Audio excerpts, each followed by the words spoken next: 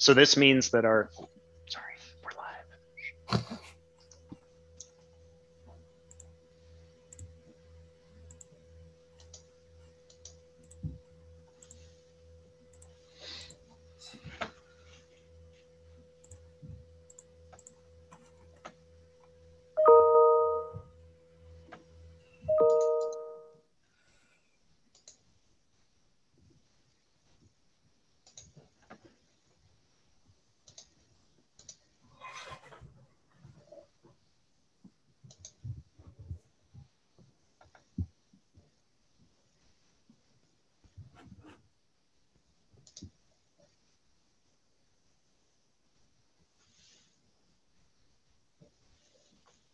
Hi, everybody.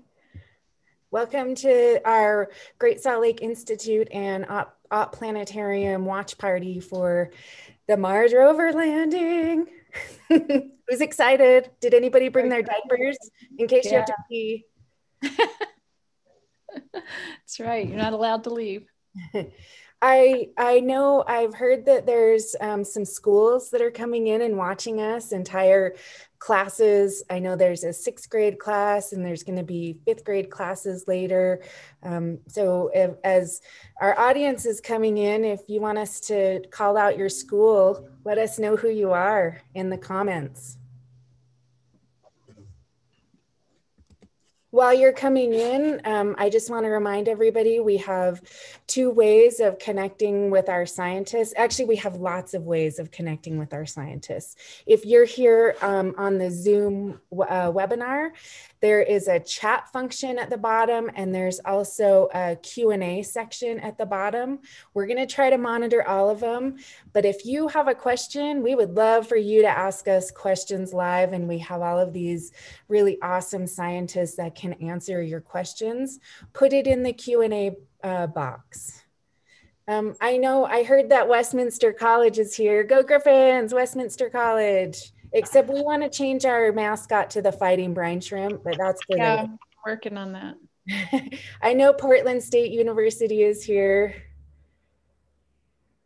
Oh, Bonnie, your students are starting to come in. I see the woo, woo. students. go students, go students. Bonnie Baxter fan club. Woo! Woo, woo. That's what they told John this week that they were. I appreciate that. They've never said that to me, John. So I appreciate they said that to you. they live in terror of me. I'm sure. Yeah, that's exactly what I think of. oh my goodness. While people while people are coming in, um, John, you had asked uh, Dr. Scott Perl a question that I would love for everybody to hear. Could you could you repeat your question? Sure. I was I was asking. Scott's worked on the Curiosity uh, mission, which is the last rover mission, and I asked him what it was like to work on a Mars work schedule where you're working on a 24 hour and 40 minute schedule as opposed to a 24 hour schedule. So, Scott, what was that like? Yeah. So. Uh, so when it came down to essentially living life by a spreadsheet, um, it, the fact that you have two planets that are at a different rotations in terms of, of, of their speed as well as the different lengths of a day um, you're essentially at the mercy of that spreadsheet. And so you can have days that start essentially at one or two in the morning and end at, at about nine or ten that same day or, or or essentially starting in the afternoon and then going on to late in the evening and, and in terms of odd hours in the morning. So um, it's something where once you're on it, you have to essentially stay on it until you're done um, because it's very difficult to, to kind of go from that schedule to a normal nine to five, which is rare in general. But uh, yeah, it was, it was very interesting to do it both for MER as well as MSL. So how was how long was that? Like, I mean, how so did everybody do 90 days and then somebody else came in or what? How long was that? Yeah, so so the reason why we do that is because we're going essentially um, in terms of what the nine to five quote unquote is for Mars, and so the Martian day, the start of the Martian day, whenever that is for Earth, is our is our start. And so when it comes down to actually making full use of that Martian day uh, when we first go on, um, we want to make sure that we're up as kind of bright and early in terms of Gale Crater, in terms of Meridiani Planum. Uh, and so um, uh, yeah, so once we're done in terms of the actual 90 days, uh, the the team kind of goes off into its normal Earth time, and then we're able to uh, uh, to phase into that kind of schedule. It takes time though. That's yeah, and I I guess with MER you had a 90 day mission that went for 15 years. So Mhm. all all good things.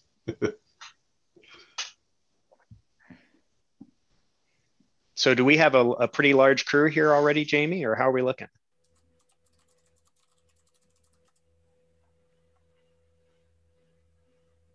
we can't hear you. I'm actually not sure because I'm sharing my screen. With Oh you. right, okay. Um, the last check that I had, we had um, over 100 people. That Okay. were- I know Garfield School is here now. I saw Garfield School come in. Well, before you um, before we kind of go over to see what NASA's doing, should we just go around and introduce ourselves so that everybody knows who's here, and then we can maybe watch a little NASA TV for a while, see what's going on there. Yeah, that's great. So, who'd like to start? You start, John. Oh, all right. uh, hello, everybody. My name is John Armstrong. I'm a physics professor at Weber State University, and I'm the director of the Ott Planetarium. Uh, my uh, scientific research lately has been focused on studying exoplanets, but when I was a graduate student and a postdoc, I worked on uh, Mars uh, exploration. And in fact, um, we were doing a lot of analysis of the Viking landers uh, because that was prior to the Mars exploration rover landing. Uh, and the funny story I like to tell about that is my advisor, Conway Leovy, who was a meteorologist, wanted to put a weather station on the Mars exploration rover. And they said, no, don't bother because it's only a 90 day mission. And as I alluded to uh, Scott just the other second, it was a 15 year mission. And boy, it would have been nice to have 15 years of weather data. Um, but there you go. That's the way it, that's the way it goes sometimes. So that's my connection here. And, uh, and we'll see who would like to introduce themselves next. I'll go next. Um, I'm Bonnie Baxter. I'm a professor of biology at Westminster College, and I direct Great Salt Lake Institute. And you may wonder what Great Salt Lake has to do with Mars. Um, and my colleague Scott Perl from NASA uh, JPL is also on here, and he can say he can elaborate on this a bit. Um, but Scott got really interested in Great Salt Lake because it um, is a a lake system that has evaporites. In other words, it has salts where water has previously evaporated. And that is similar to what a closed basin lake system um, might have looked like on Mars as the water started evaporating from the surface. We think the water would have gotten saltier and saltier. And so, if there was life in that water, it would have been very salty life at the end. It would have evolved to live in that high salt um, conditions. And we know that these types of microbes and their molecules can survive in salt over geologic time. So um, we're super excited to bring Great Salt Lake to the party and um, uh, let let Mars know that Great Salt Lake is happy to serve as an analogous system on our planet. I'll go next. Uh, my, Jamie. name's- my name is Jamie Butler. I run Great Salt Lake Institute at Westminster College. And um, I am just lucky enough that I get to hang out with all of these space nerds because really I'm a wildlife biologist. I really love um, bugs and brine shrimp, which brine shrimp have gone to Mars, which I think is really very cool. Not Um, Mars, space, right? I mean, Space, but sorry. The space, not Mars. I have Mars on my brain. I'm sorry. They've gone to space. next, next thing, shrimp to Mars. Um, yeah. So really, I'm here um, just being lucky to be along the on this ride, and I'm going to be kind of doing our technology and making sure that we stay online and asking questions. I do have a question for Professor Armstrong, though.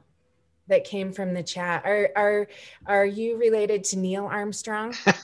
I'm so glad you asked that. Most day, most of the time, people ask Lance Armstrong now because they don't remember.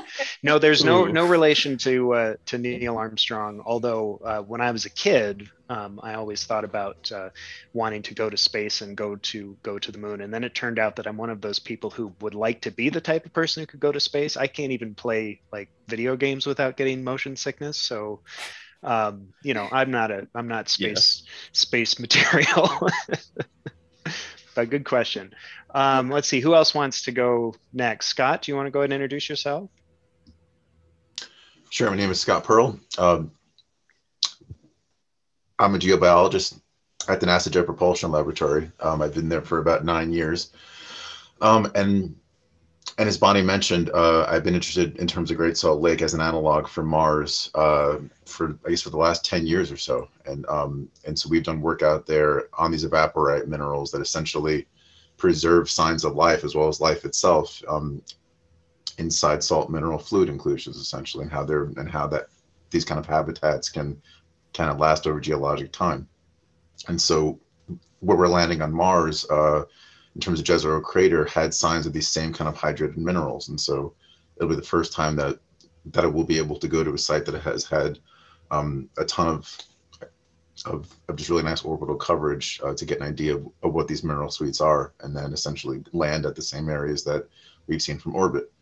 Um, and so uh, just happy to be here today, and um, and thank you guys for having me. Awesome. And uh, let's see, Rachel, how are you doing? Hi, I'm good. Hey, everyone. Thanks for joining us. My name is Rachel Lemons, and I'm a senior at Weber State University. I'll be graduating this semester with my degree in astrophysics. And um, thank you. Yes, for my senior project, I actually did some computational analysis on terraforming Mars and what it would take to make it habitable, more Earth like. Um, you know, with water and atmosphere, breathable oxygen, and soil that can um, have plants grow through it. And um, with that, I also directed a um, production. It's going to be called the Martian Initiative, and it will be a planetarium show. So that is looking to be done hopefully later this year. Our um, filming got cut short due to COVID. So if you guys are in the area, you'll totally have to come by our planetarium when that show is done and see it and learn all about terraforming Mars. Awesome. Thanks, Rachel. Mm-hmm. And let's see who Colby. I don't think you've introduced yourself yet. Hey everyone, I'm Colby Farron. I'm a uh, I'm a student at Weber State University. I uh, uh, I'm a planetarium assistant here. I'm just I'm stoked about space, and also I I'm stoked about uh, let's see some shout outs here. Horace Mann sixth grade, stoked about Horace Mann sixth grade. Welcome, and it looks like uh, Mrs. E's amazing st- fifth grade students at Doxy Elementary also watching. Nice. Uh, just a few shout outs here. Anyway, I'm I'm excited to be be with you guys here on this uh, exciting day. Love space. Uh, I love thinking about aliens, figuring out what uh what what what kind of life could be out there if it is out there, and how we could uh how we could I guess find signs of life that is out there or was out there. And so anyway, obviously today's an exciting day. So cool. Excited to be here. Yeah, and, and Scott, I think someone said hello to you too. Dana at the veterinary uh, op- ophthalmic consulting. do you don't know if you know know Dana there? I can't pronounce uh, words that. Yeah, I do. Yeah, yeah. So awesome. yeah, Carson, how are you doing? Hey, so hello everyone. Uh, my name is Carson Matthews. I'm a physics major at Weber State. Uh, emphasis on astrophysics, which is why I'm super excited for today. Uh, I am an associate at the Ott Planetarium. Uh, I've been helping Rachel with her Mars show. And uh, yeah, I'm just here to answer any questions in the chat and help anyone out. Great. And Nate. All right. Hi, uh, I'm Nate Tanner. Uh, I also am a physics student at Weber State University, and I work at the Ott Planetarium with uh, Dr. Armstrong uh, I kind of help them out with like more media related things. And I'm also doing research at the university. I'm starting doing research on variable stars. But I'm in agreement with everyone else that space is really cool. I think today's going to be really exciting. And I got fingers crossed this is going to go smoothly and everything's going to work out well. But excited to be here. And I'm glad everyone else is watching too. Awesome. That's great. So, Jamie, should we just fire up NASA TV and see what's going on over there on the on the main channel.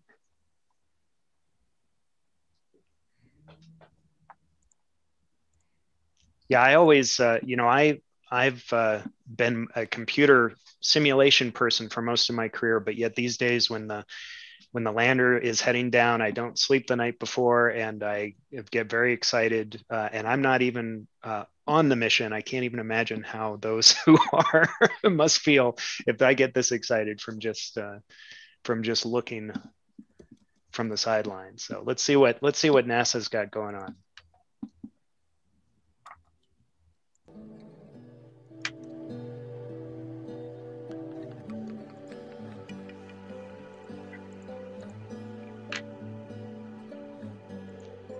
So those are images from uh, Curiosity, right, Scott? Must be. Yeah, pretty sure. Um, it just kind of clocked out, but uh, it must be. I didn't see what what uh, what the last. Oh, I'm was. sorry. I'm watching a live feed on our Facebook, which is behind the schedule there. So. Ah. Yeah, so now they're. I guess they're just showing us our countdown here. So we've got two hours and ten minutes to go. Um, I do have a question. What is Go for the, it. What is the atmosphere like inside Mission Control? What's it like to be ooh, in yeah, Control? Scott would be the person to.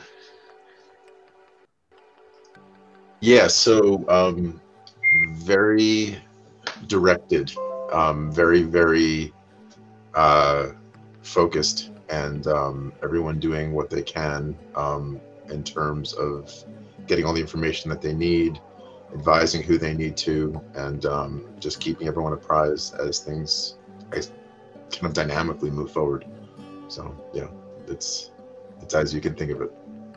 Is it is it really loud or is it quiet? Like you know, there.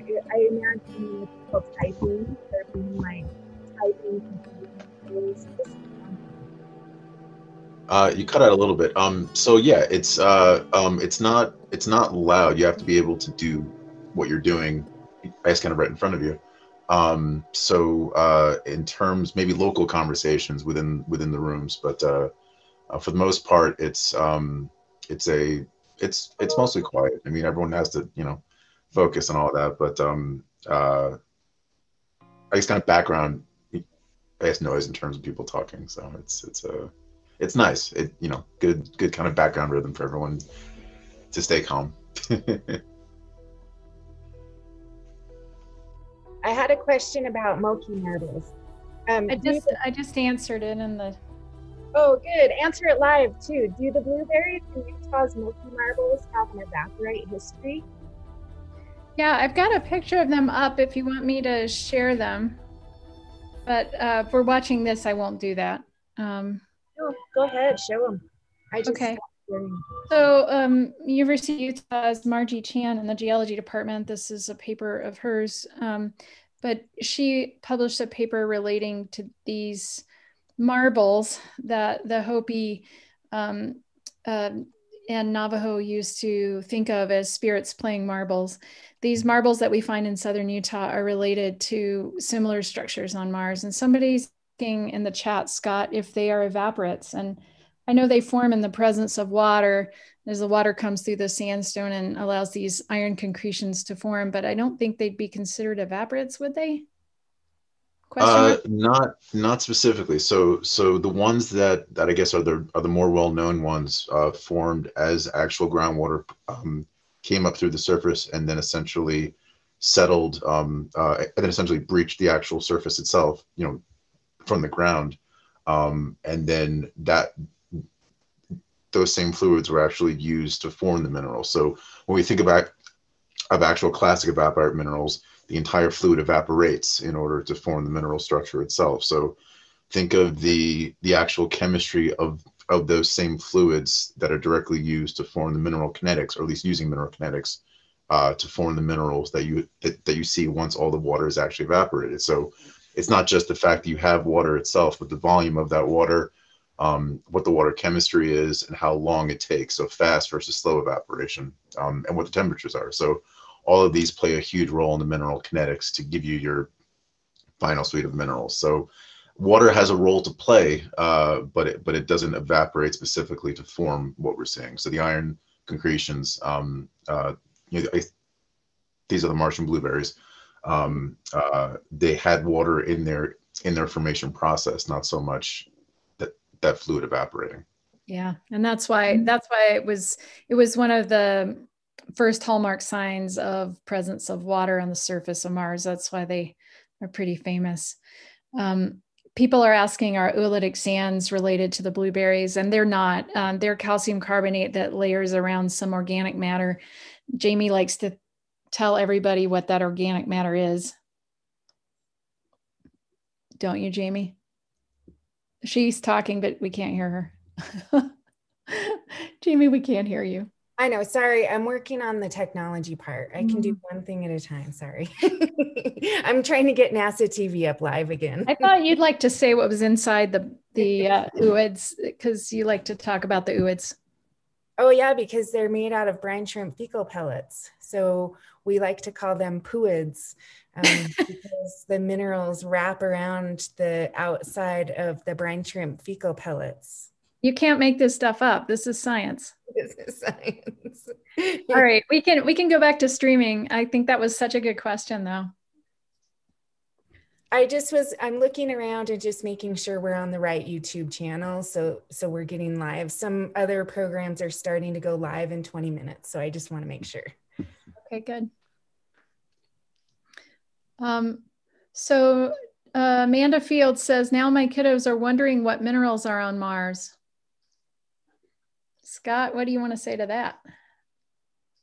So, uh, in terms of mineral diversity, there it's it's pretty significant. Um, uh, specifically, the, the ones that we work with all have relationships to water, so you can get an idea about um, uh, when you have water after a mineral that's used water is actually formed. Um, you can modify that mineral further, and so depending on how that mineral modification, or at least the actual extent of that modification has taken place, you can get an idea of how much water has actually been stable in these certain areas on Mars for for certain periods of time, longer than other ones. And so, um, the I guess the easiest way, or at least in terms of any kind of lake bed that you have near your home, if if you have a lake bed or you can go to the ocean or whatever it is, any any kind of body of water, you'll notice that um, when you have I guess waters and ponds and lakes that are that are essentially closed, there tends to be a higher salinity, just like Great Salt Lake, compared to the ocean, and and it can be upwards of, of probably 10, 10 times the amount of salt, uh, just because you don't have any room for that closed basin system for the water to go anywhere. So if it if it gets salty, it will you know stay salty and get saltier as time goes on. Whereas the ocean, you have constant kind of recycling um, and then movement of, of of a certain ocean fluids, and so uh, lots of minerals, lots of ones that are that are associated with water. Um, uh, yeah, definitely look it up because it's it's a it's a it's a nice suite of minerals that are there. Very very pretty ones. Just covered with dust. That that's the only issue. So we just had um, Amanda join our our panelists here. Amanda's uh, with the College of Science at Weber State University. I don't know if she's her or her video just went up. So uh, when she comes back, we'll introduce her. So they giving us audio on this uh, feed, Jamie? Or is it just, yeah, okay, perfect.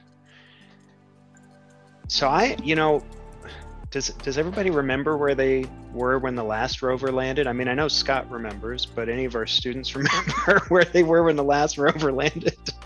Like seventh grade. yeah. So did you watch it on? Did you watch it on TV in, in school, or what's how did you find out Uh, about it?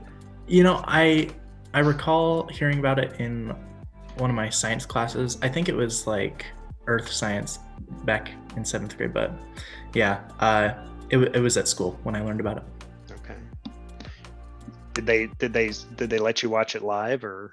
Hey it attorneys, after the if you're looking to sign two to three more watching it live. trust-based planning packages like this per week, Oh, hey, look, we're getting an advertisement. Check that out. And we're back. Anybody else? I don't remember at all. There's certain things of my childhood that I remember, like the Twin Towers and stuff in school, but they never had this type of a show for us. So it's great. When that- Huh. Was, was the last when did the last rover land? We're like talking about timing. It was 10 years ago, yeah. Wait, what? What were you talking about? I was talking about Curiosity. Which one were you talking about? Any of them. We have questions about when were the last, um, you know, rovers on Mars. I'll try and pull up some dates. So Jamie, I'm sending you a link to a NASA TV thing that probably doesn't have commercials in it. Ooh, thank you. That's I awesome. hope. you know, it's funny whenever I show YouTube v- videos in class, I'm always like Chrysler. Chrysler brings you the new uh, Much better. yeah, classroom. Okay. So let's see. What are the questions here? We had uh, so questions about um, when the last rovers were. You know, it's funny. My entire career, it seems like, is is focused on watching rovers land. I remember when I was an undergraduate, the Mars Pathfinder um, lander landed. That was in '97. Um, that was the first mission on the surface of Mars for 20 years before that. I think Viking was in 1976. Um, and then uh, after Pathfinder, I think uh, what MER was 2004, and I'm thinking you know rovers, um, and then Curiosity was 2000 and I want to say 12, but I might be Yeah, wrong about that. it was Is that right? 2012. 2012.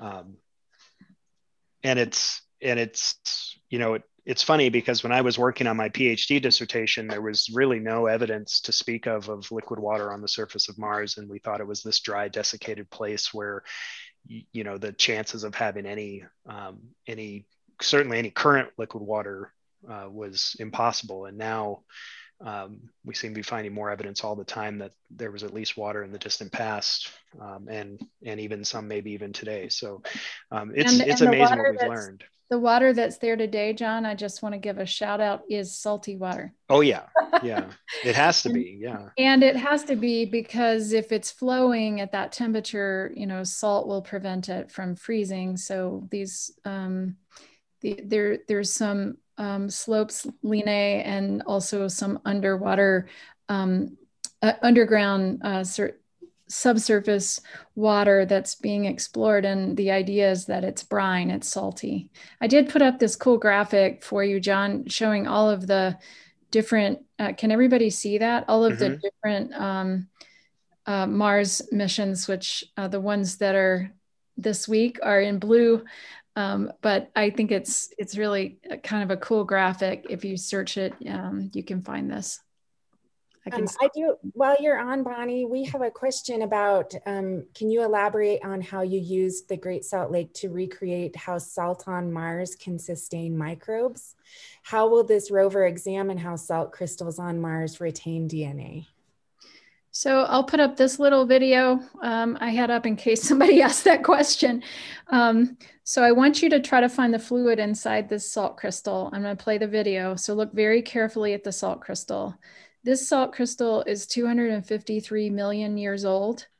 So the fluid inside was water that was around the equator 250 million years ago, before the dinosaurs. Okay. So see if you see the water in there.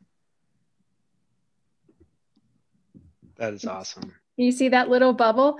So um, what we know is that particularly that that fluid pockets, they call them inclusions in geology. Fluid pockets um, get stored inside these mineral crystals, and as that salt is pressured over time, those pockets kind of come together. So to a molecular biologist, 100 microliters is a whole lot of fluid, but to most people, it's not.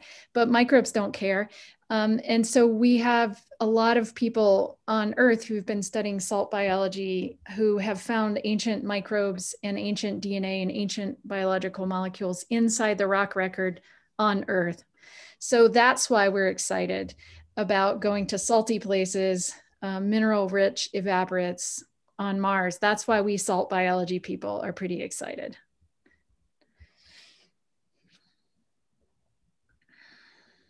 And that's So why I we just talk, oh that's why we talk to people like Scott, geologist. sorry, I was just looking back. Paul, did, were you just answer? I, I I'm having a hard time paying attention to more than one thing at a time. So did you answer Paul Nelson's question about? Uh, Yeah. uh, that's the one you just did. Okay, good. All right. All right, Paul just said you did. There you go. Perfect.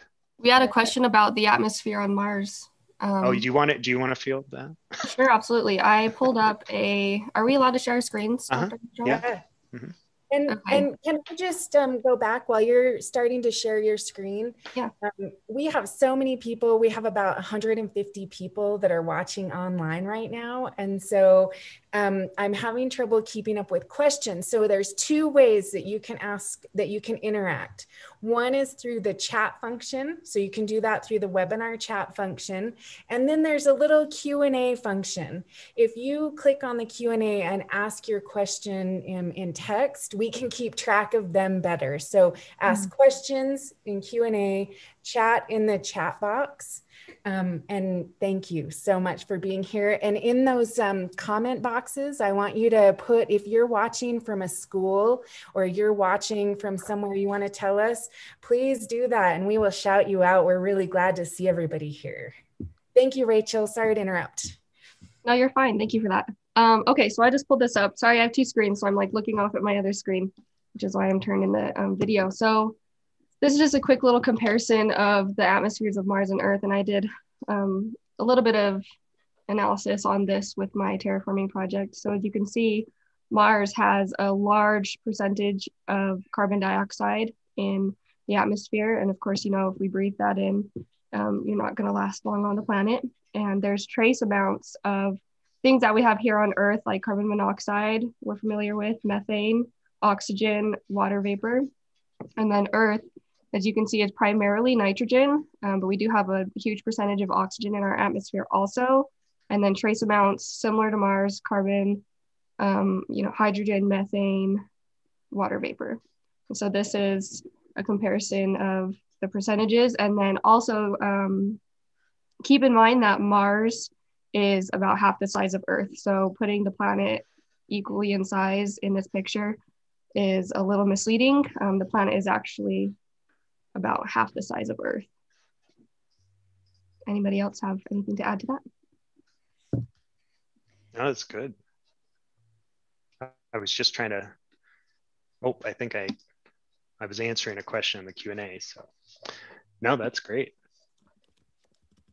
So, what did you find out about what it would take to uh, turn Mars into Earth?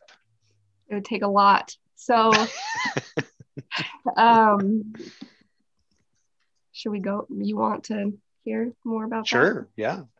Um, so obviously, we would have to up the oxygen in the atmosphere and decrease the carbon dioxide.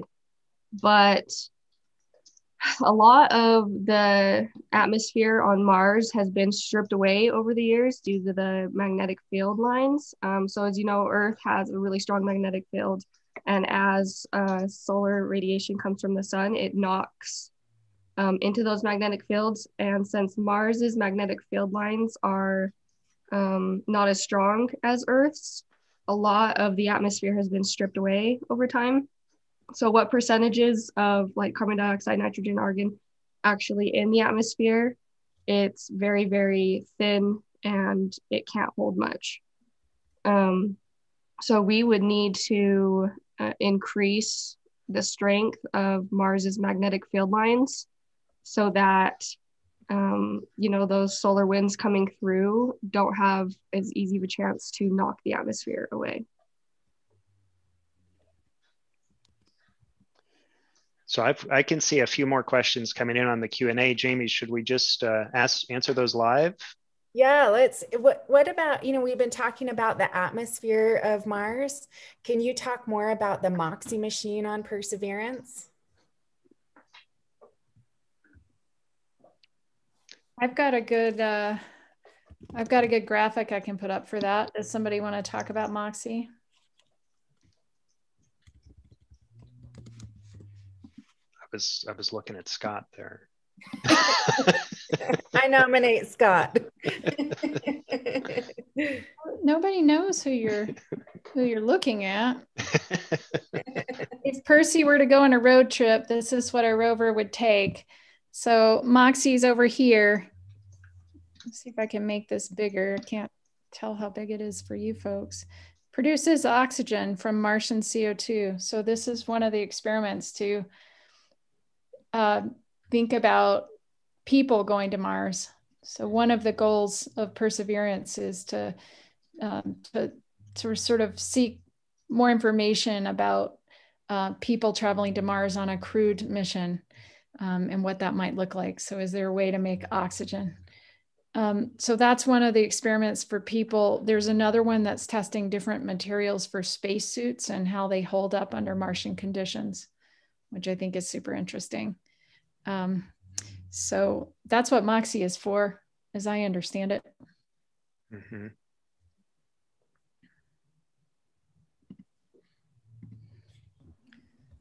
Do you, does anybody have any environmental concerns about this mission? Um, Ryan's been hearing, seeing a ton of these yellow and black protect wild Utah stickers that you see around here that have been uh, modified to say protect wild Mars. Mm. Could be jokes, um, but is NASA being sensitive of their impact? So I, I, do you mind if I take that just real quick? Um, you do it. The, uh, you know, the the idea of protecting um, Mars from contamination is something that NASA takes pretty seriously. Um, you know, the the rovers that are set up there are are sterilized to make sure that they don't kind of forward contaminate from Earth. Um, and we're also mindful of bringing anything back from Mars. You know, if we ever do a Mars sample return mission, we don't want to bring stuff back from Mars to contaminate uh, laboratories on the Earth. Um, but you raise an interesting point about the, you know, kind of, you know, that that's thinking of like contaminating the site from scientific purposes and you know, or contaminating the samples coming back. But there has been a lot of discussion about um, kind of the protection of Mars as a place. Um, and I remember there was a few years ago there was a big uh, there was an article out with a debate about uh, you know whether whether we should preserve uh, Mars as kind of a pristine location. Um, and the the thing about Mars is that you know if we uh, if we find life up there and it turns out to be life that is not at all like the life that we see on Earth. Um, then it becomes a place where you know the to study it was going to be something we're going to have to be extremely cautious with, not only to not impact it, but also just to study it. You know, it's the only other example of a place that that didn't have life. And it's perhaps even more interesting if, and this sounds strange to say, but it's more interesting if Mars doesn't have any life. Um, because it clearly had environments where you could have life, and if it turns out it doesn't have any, um, that that's a very interesting uh, problem or a very interesting answer to that question. And and then the open question is do you still preserve that space? Um, you know is does it have value as a as a pristine environment even if life doesn't exist there? And people debate these things philosophers debate these things. People have all sorts of fun arguments about it. Um, but but yeah that it's an interesting uh, i hadn't seen the stickers for wild mars um, but uh, but there are people who think hard about this um, and um, Matt wants to know, so to make Mars habitable, would, would introducing cyanobacteria to create a great oxidation event similar to what happened here on Earth be reasonable?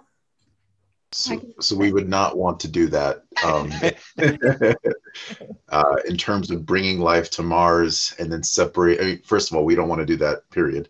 Second of all, um, to, to bring Earth life to Mars purposely would kind of negate the search for life elsewhere.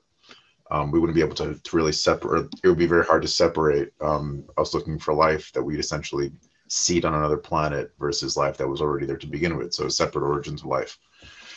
Um, so uh, in terms of the GOE and and and the time that it would take, obviously there's there's a difference between naturally happening it on on a planet versus it being something that that we do via potentially terraforming and things like that uh, more toward the former, um, it, it would make sense um, uh, that we have as, as, as small of an impact to Mars as we can in terms of human exploration. So um, there are certain special regions that we don't even go to in terms of um, of just rovers in general because of uh, of, of of having the actual potential of water being there presently in terms of you know very salty brines on the flip side, those are also uh, really nice areas to essentially go and study. And so you you have to balance the protection of these sites um, to actually like the main science that, that you'd want to do. So, um, Hey, we have about three minutes until the really good live NASA stream starts, but I do want to call out to some people because we've got some folks from Antelope Island State Park. Hi, Trish. Thanks for coming.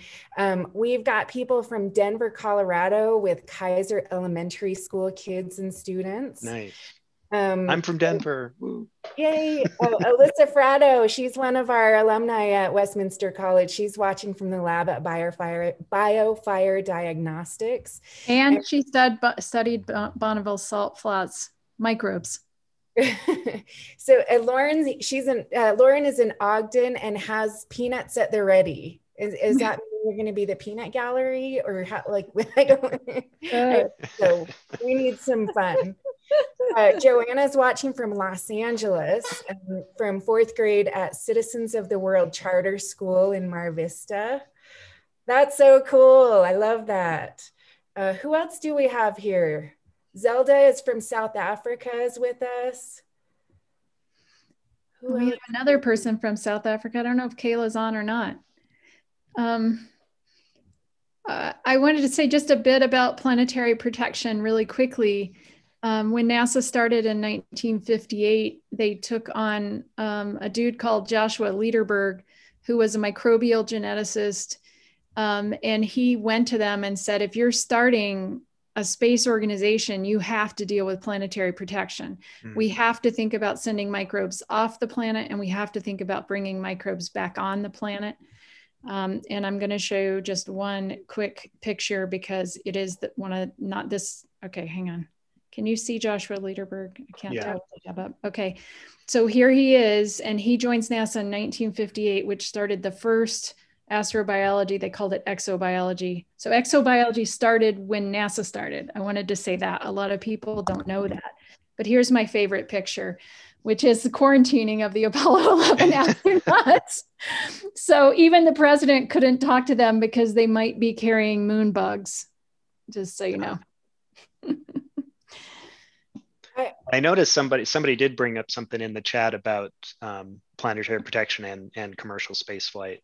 And, and that was the first thing I thought when Elon Musk launched the Tesla into space, which went past Mars's orbit. I mean, forever after now we have a race car in space and and that's on the one hand fantastic because nasa never would have done that um, they never would have just put a car in a in a launch vehicle and sent it into space uh, on the other hand uh, it just just kind of demonstrates that uh, you know private exploration can be a little, little, bit of a loose cannon. So it's uh, you know it's interesting. I hope that uh, Elon Musk is on board with uh, planetary protection as much as NASA is. So for the next Tesla. The next, that's right. Daryl Tesla. There you go.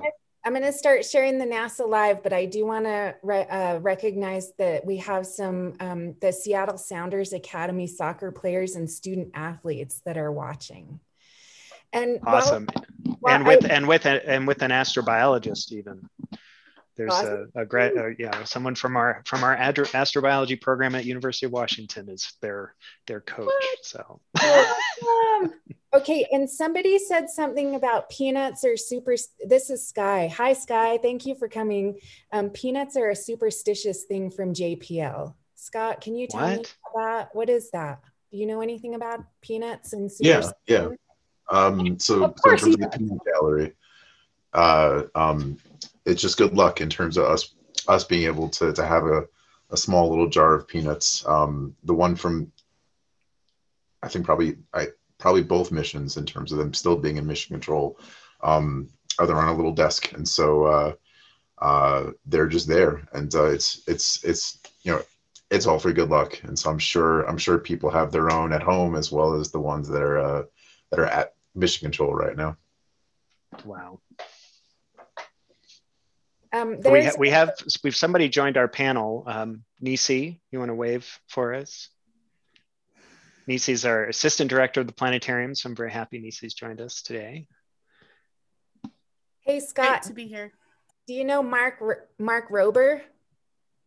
That was a question for you, Scott. Mark Rover?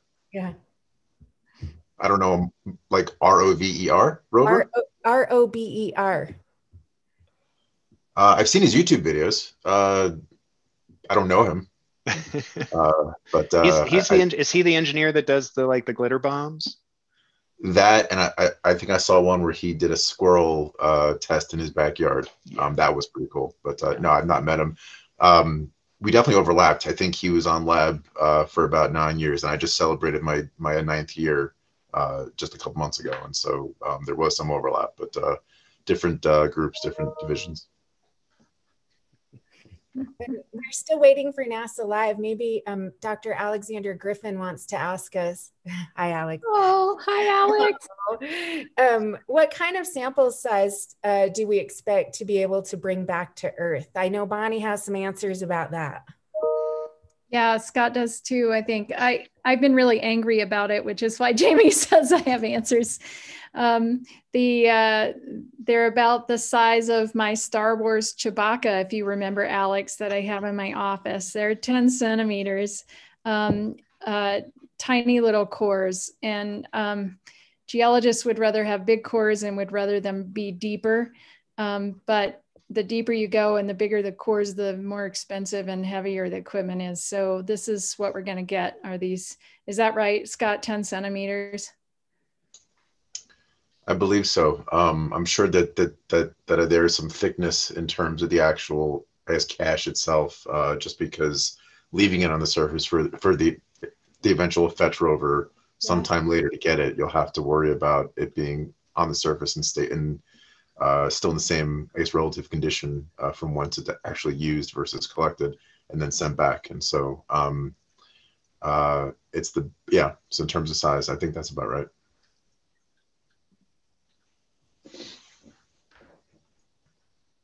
I did just start to uh, show NASA live.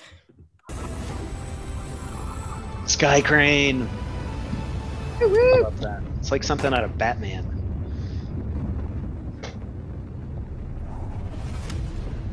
So Scott, I have to be honest. When I saw the sky crane on Curiosity, I when I first saw that, I was like, no, no way. Welcome to NASA's awesome. Jet Propulsion Laboratory in Southern California. Agreed. I, We're gearing I was terrified of the whole idea. rover to touch down on Mars. Happening in an hour and a half from now, the rover will attempt to land in Jezero Crater. It is the most difficult landing site on Mars ever attempted. Thank you for joining us. I'm your host, Raquel Villanueva. In the past, mission team members gathered in our mission control for landings. But this time around, we have COVID safety measures in place. Today's landing will look a little different than what you've seen before. I am in a room by myself, and so is my co-host. Here in the Spaceflight Operations Facility, team members are in different parts of this building. Some are in mission control, others are upstairs for landing operations. We also have isolated rooms for our guests on this show. In total, we have eight locations covered by 14 robotic cameras that you will be seeing. One of those locations is the dark room, the heart of NASA's Deep Space Network. Think of it as a giant communication switchboard. This is where spacecraft phone home to us from across the solar system and interstellar space. The Deep Space Network has been tracking Perseverance since it left Earth and there are lots of ways you can watch landing today. We have a 360 degree camera inside the control room. It lets you experience the landing right along with the team while seeing this broadcast. We also have the clean feed. It shows an uninterrupted view of mission control and audio. También tenemos un programa en español.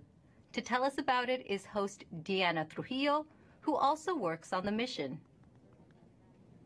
Thank you, Raquel. We're so excited to be the sister live broadcast in Spanish. Sintonízate nuestro programa en las redes sociales de Twitter, YouTube y Facebook en la NASA en español para que nos acompañes a un tour virtual de la NASA con entrevistas con astronautas, con participación de artistas, con entrevistas con científicos e ingenieros de Perseverance, con Plaza Sésamo y mucho más. Te esperamos. Gracias, Diana. And don't forget, we want to see how you are watching the landing today. Use the hashtag countdown to Mars to send us your photos and videos. To preview what interviews are coming up is my co-host from the JPL News office, Marina Jurica. Thanks so much, Raquel. The excitement is building behind me right here in Mission Control as we count down to the Perseverance landing. We will be talking to some of the many people who made today possible, from scientists to engineers on the Mars 2020 Perseverance rover team to folks from NASA headquarters giving us a look into the future of Mars exploration. A little later, we will also be speaking with the students who named the rover and the helicopter. Inspirational stories as we prepare for another landing on the red planet. Back to you, Raquel. Thanks, Marina. Let's give a shout out to the students around the nation learning about Perseverance's mission to Mars with their teachers. We're happy you're with us on this exciting day. Later in the show, we will be answering some of the questions you submitted through your classrooms. Landing on Mars is complex. The team will be calling out milestones as they happen. It's fast paced and you'll hear lots of technical terms. To help us translate and explain what is going on in mission control is Swati Mohan. She is part of Perseverance's landing team. Thanks for guiding us through landing today, Swati. Hi, Raquel. I'm happy to be here today. So, Swati, what is the status of the Perseverance rover right now? So, Perseverance is still in space right now, about 9,000 miles from Mars. So far, she is healthy and on course. And it takes time to send signals between Earth and Mars. Can you let us know how that affects the information you are seeing? So, Mars is about 127 million miles from Earth right now. That means it takes about 11 minutes from light to travel from Mars to Earth. So, all the information that we receive from Perseverance actually happened 11 minutes ago. So the round trip is 22 minutes for us to send a command to Perseverance and hear back on the ground that she's received that command. This is what we call two-way light time. That's good to know. And can you tell us who else is in the room with you right now? The operations team is split into two different areas. Here in the cruise mission support area, we have primarily the team that has been flying Perseverance from Earth to Mars. You'll see the placards with the roles of each of the people by their stations. Some of the people you may hear talking today are the flight director, who is the conductor of our operations orchestra here, the entry, descent, and landing activity lead, who is a member of the landing team tasked with understanding the execution of entry, descent, and landing, and then also the telecommunications and entry, descent, and landing communications engineers who will be monitoring the signal from Perseverance through the different paths that we have. Upstairs, in what we call the war room, we have almost the entire entry, descent, and landing operations team. And then across the hall from them, we have the surface mission control room where the surface operations team is ready and waiting to take over as soon as Perseverance's wheels touch the ground. And you have been part of this mission for years now. Can you tell us what have you been working on?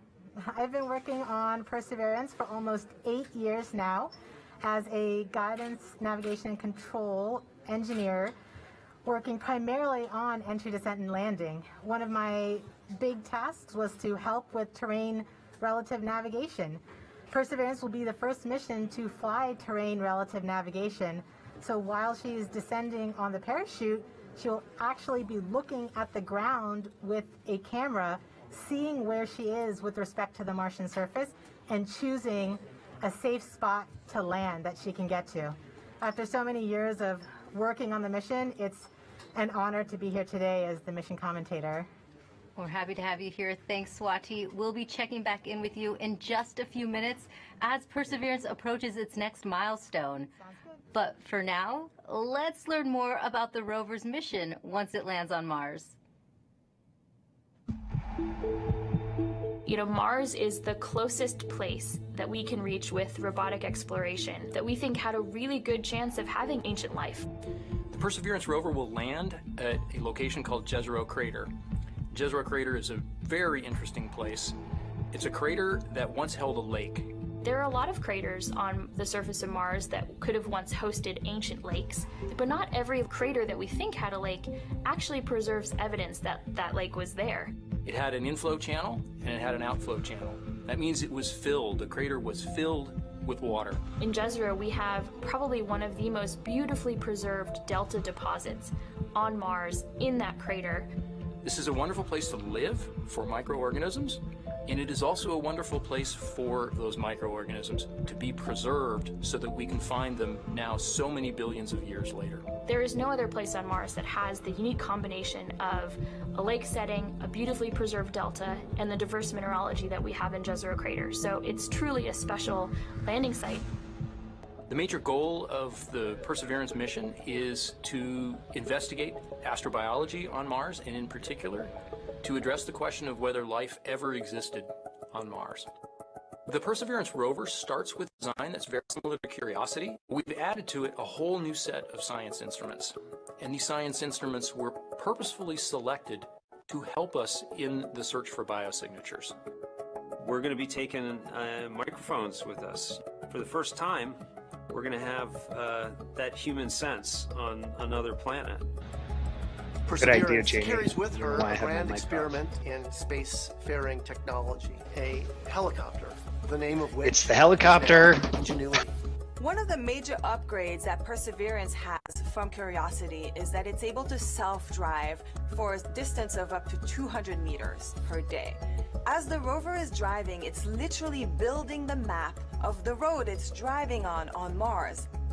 Scientists for years have told us that to really unlock the secrets of Mars, we have to bring samples from Mars back to Earth. So what Mars 2020 is going to do is to drill samples, put them in small tubes. We're going to seal it in its own individual tube.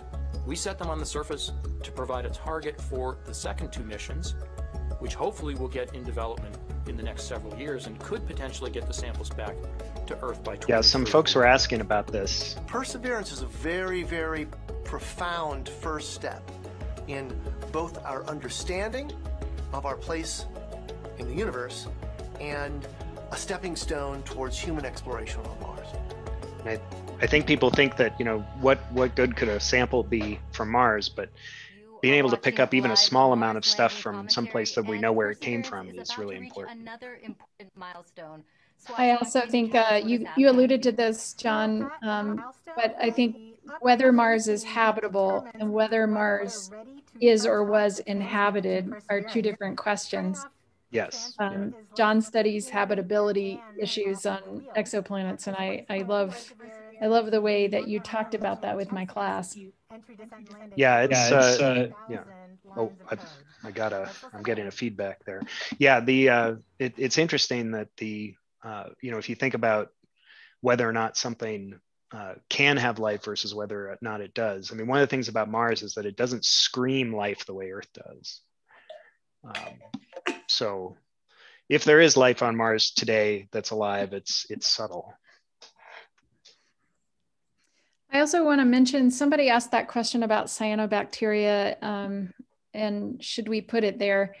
Um, and we talked about that, but we didn't talk about, I think what the question was also getting at is that cyanobacteria we expect to be important of in the evolution of a planet um, as as it goes through abiogenesis and and life forms and then that microbial life gets to get gets to create an oxygenated environment. That's what we saw on earth. And um, just so you know we are going to look for evidence of mats of cyanobacterial mats on on mars with the perseverance mission. So i did want to point to that. Stromatolite like structures um, will be examined if they're found. So you you guys are talking about uh, potential life on Mars. I have a I have a slideshow prepared that I can't. You guys set it up too perfectly. I can't Let's do throw, Not throw it in right now. Let's so let me it. just uh, let me share my screen here and uh, Jamie, can you can you let him share his screen? I I think it automatically. Oh, will it? Okay. Lets me. Yep. There we go. Sweet. Okay.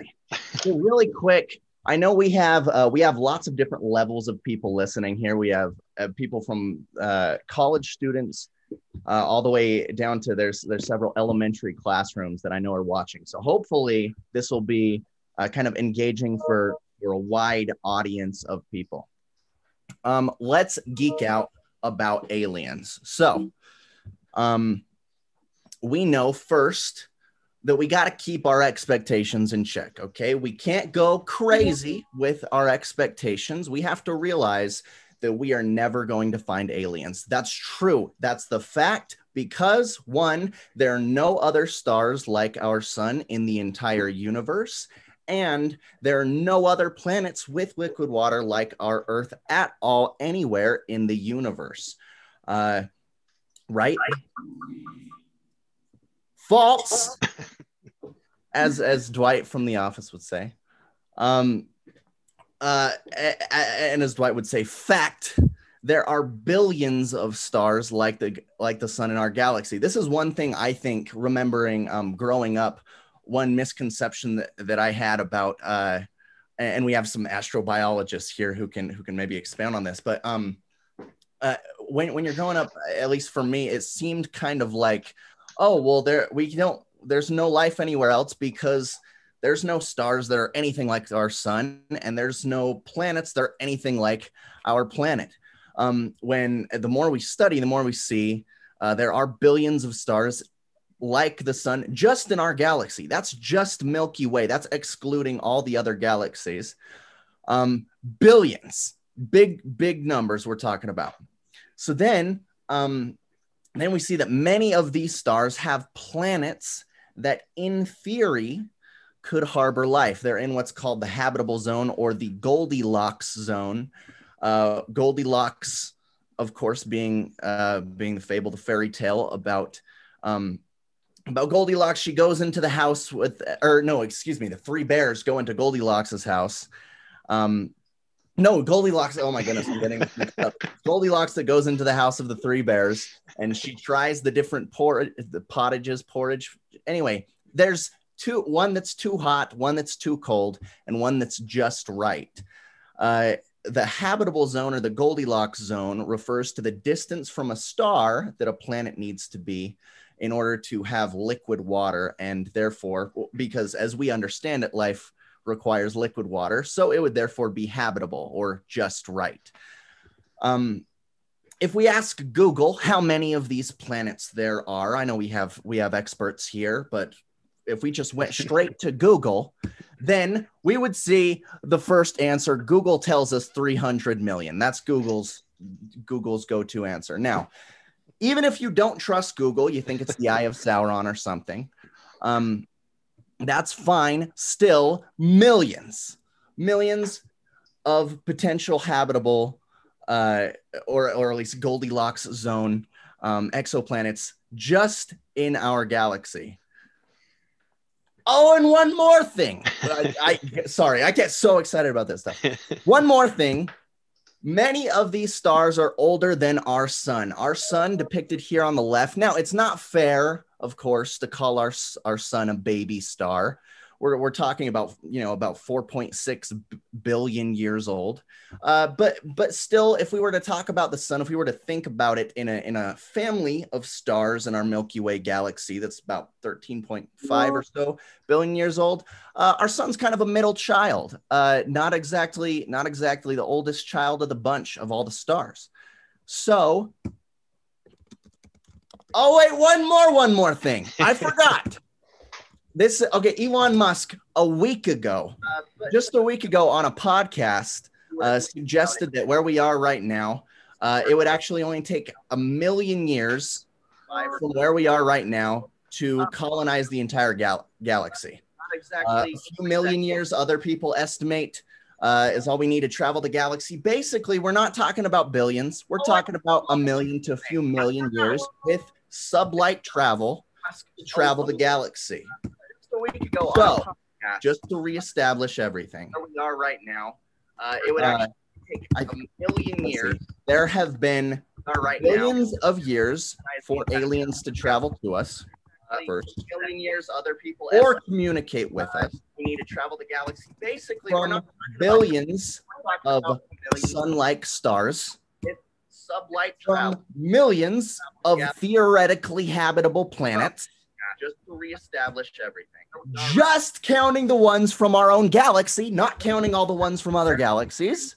right now of years. So to travel to us. Where is everybody? Um, this, and I know this this idea won't be won't be new to many of you, but to some of you, this may be the first time that, that it's presented like this. Uh, if if you guys are elementary kids, where is everybody? It's not like there's not other Earth-like planets out there. It's not like there's not other sun-like stars out there. There's billions and billions, and they've had several of them have had billions of years to potentially send life to us. So where is everybody? Um, this is so this is known as the Fermi paradox. Basically, this uh, this physicist years ago named Enrico, uh, I believe it was Enrico uh, Fermi. Um, he was talking with his colleagues about this whole idea and and suggested like, no, really, where is everybody? All the statistics, all the probability suggests that when we look out, we should be able to see life somewhere or that life has visited us or or would visit us that we would be able to to see evidence of life and yet somehow we don't um so how do we understand why there is life on earth? Well one way is by visiting those planets inhabitable zones. We just we go out to all of the billions of planets and we visit those planets and we see okay what's going on here that isn't going on on earth or what's going on on earth that isn't going on here.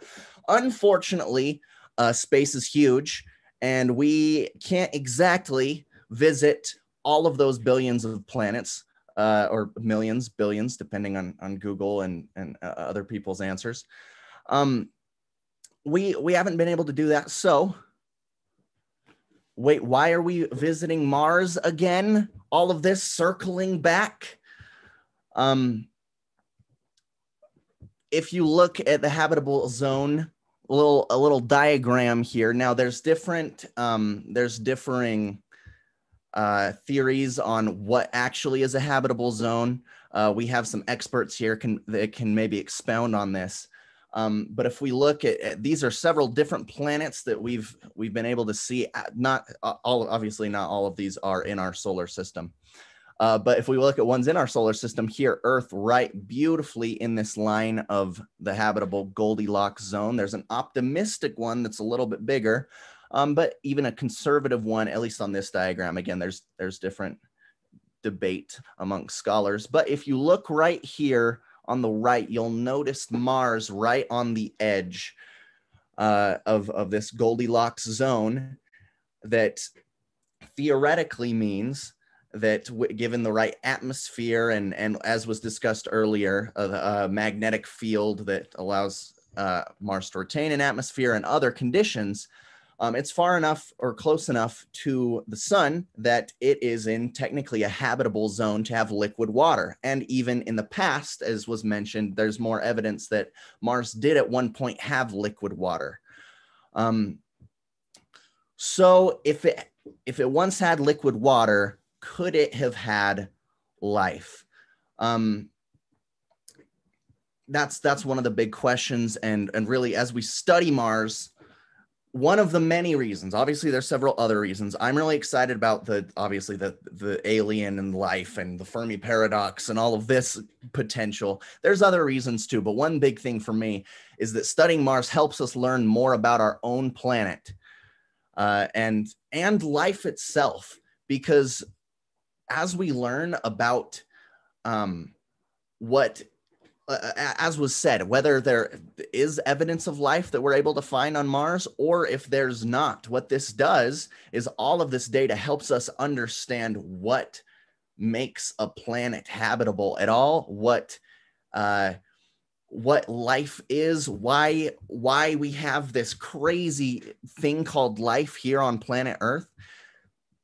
And really, uh, that, that's one of the big things that I think is super cool about going to Mars, one of the big reasons is it uh, it's us trying to figure out this mystery of life, this mystery of the Fermi paradox, and where is everybody? And it helps us get a little bit closer to understanding what it is about Earth um, that that makes life possible, and if it potentially is possible in other places. Uh, I could go off about the great filter and things like that, but I think I'm going to stop there. Basically, um, I'm excited about learning about what we find from Mars insofar as it helps us answer this question of what is life and what makes life. So That's awesome. there, I think that is the end of my slideshow. Awesome. Um, You know, Colby, whenever I hear about the and Fermi I'm paradox, I gonna always pull us oh, back. Let's see. Sorry. Stop sharing. Go off about the great Um, beautiful. but I think I'm gonna Okay, stop there there. we go. Thank you. Thank you for letting me go on that spiel. No, I- no I'm- worries. I was just way too excited about that. No, that's good. I, in fact, whenever you talk about the Fermi paradox, I always think about, uh, you know, the the fact that we've sent probes out, so at least somebody's out there. Ju- So, how's our NASA TV doing, Jamie? I'm just sharing. And there's again. and it's impossible to be way too excited about any of this. I don't care. This is awesome. This is try to lead a team that's flying a spacecraft on the way to Mars while getting ready for landing, while doing it all from home. There's no doubt that working in isolation, not virtual isolation, we haven't talked about this enough.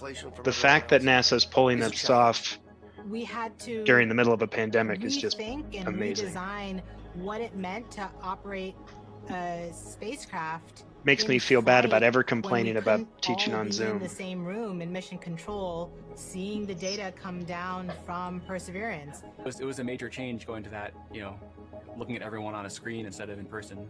because of the pandemic, you can't, uh, you know, just pop over your cubicle wall and talk to the person next to you. It's definitely been a challenge to figure out how to communicate and uh, get everything done remotely, um, but we've managed to make it work. We are Scott, do you think that this is going to change the way NASA to go into the operates unknown. now that people have gotten some familiarity with this type of work? Of the unknown. In terms of, of just remote operations or in Yeah. terms of just transformative uh yeah definitely um uh or not life you know in terms of all work another environments i think That's the um as being able to kind of streamline things to not only you know the same issue and happened when we um, have meetings just in wonderful team that we person where, where there's always be a part more more actual content than there keeps is me going. um time to talk about it so having talked to uh you know kind of meeting fatigue or at least kind of reducing that over time um, kind of forces you to streamline things but there is something to be said about not being It's able to kind of walk over to your next to a colleague's office to have a conversation. so um uh kind of balancing those two i think is going to be a challenge in the future for kind of deep thinking not just being able to get tasks done but really kind of thinking about uh what's going on Yeah, I can totally see that. Uh, I remember back right after I got out of graduate school, I got to go to the JPL Planetary Science Summer School where we did kind of a mock mission planning. And uh, we went into the, like, what they call it, Team X mission room, I think at that time they called that. And, and they had all the engineers sitting in front of their computers, you know, updating spreadsheets in real time and they were all interconnected and all this type of stuff. And, um, and it was it was such an energetic environment with everybody in the room talking to each other and shouting at each other trying to figure out how to plan the different things. And when i thought about you know trying to run something like this without being in the same room with people i i just thought it was incredibly difficult. Um, so it's it's really amazing. Yeah um definitely in terms of uh you know going from the environment to making that work uh, versus uh, as the quality of the content. If you're having to manage that, there, there- there's a huge trade-off. And so, you know, in terms of having times that are devoted for for the, the full thought process versus um, now you can go into kind of autopilot mode to do specific things. I think we've all gone through that in, in the in the last year in terms of of um, you know going from I need to focus on this versus I can have seven meetings back to back over Zoom and WebEx, and uh, and both of them are fine, but you can't really mix the two. yeah. Well and i was even thinking about it from our students perspective. I've got students who are graduating and applying for graduate school and they're doing virtual interviews for graduate school. And i i don't even know how you make a decision if you don't get to go visit the place and see the environment and look at the laboratory space and so i i my my heart reaches out for everyone who's trying to manage this Yeah, definitely. have worked on on the mission. Uh, and then almost every other NASA center has contributed in some significant and critical way as well.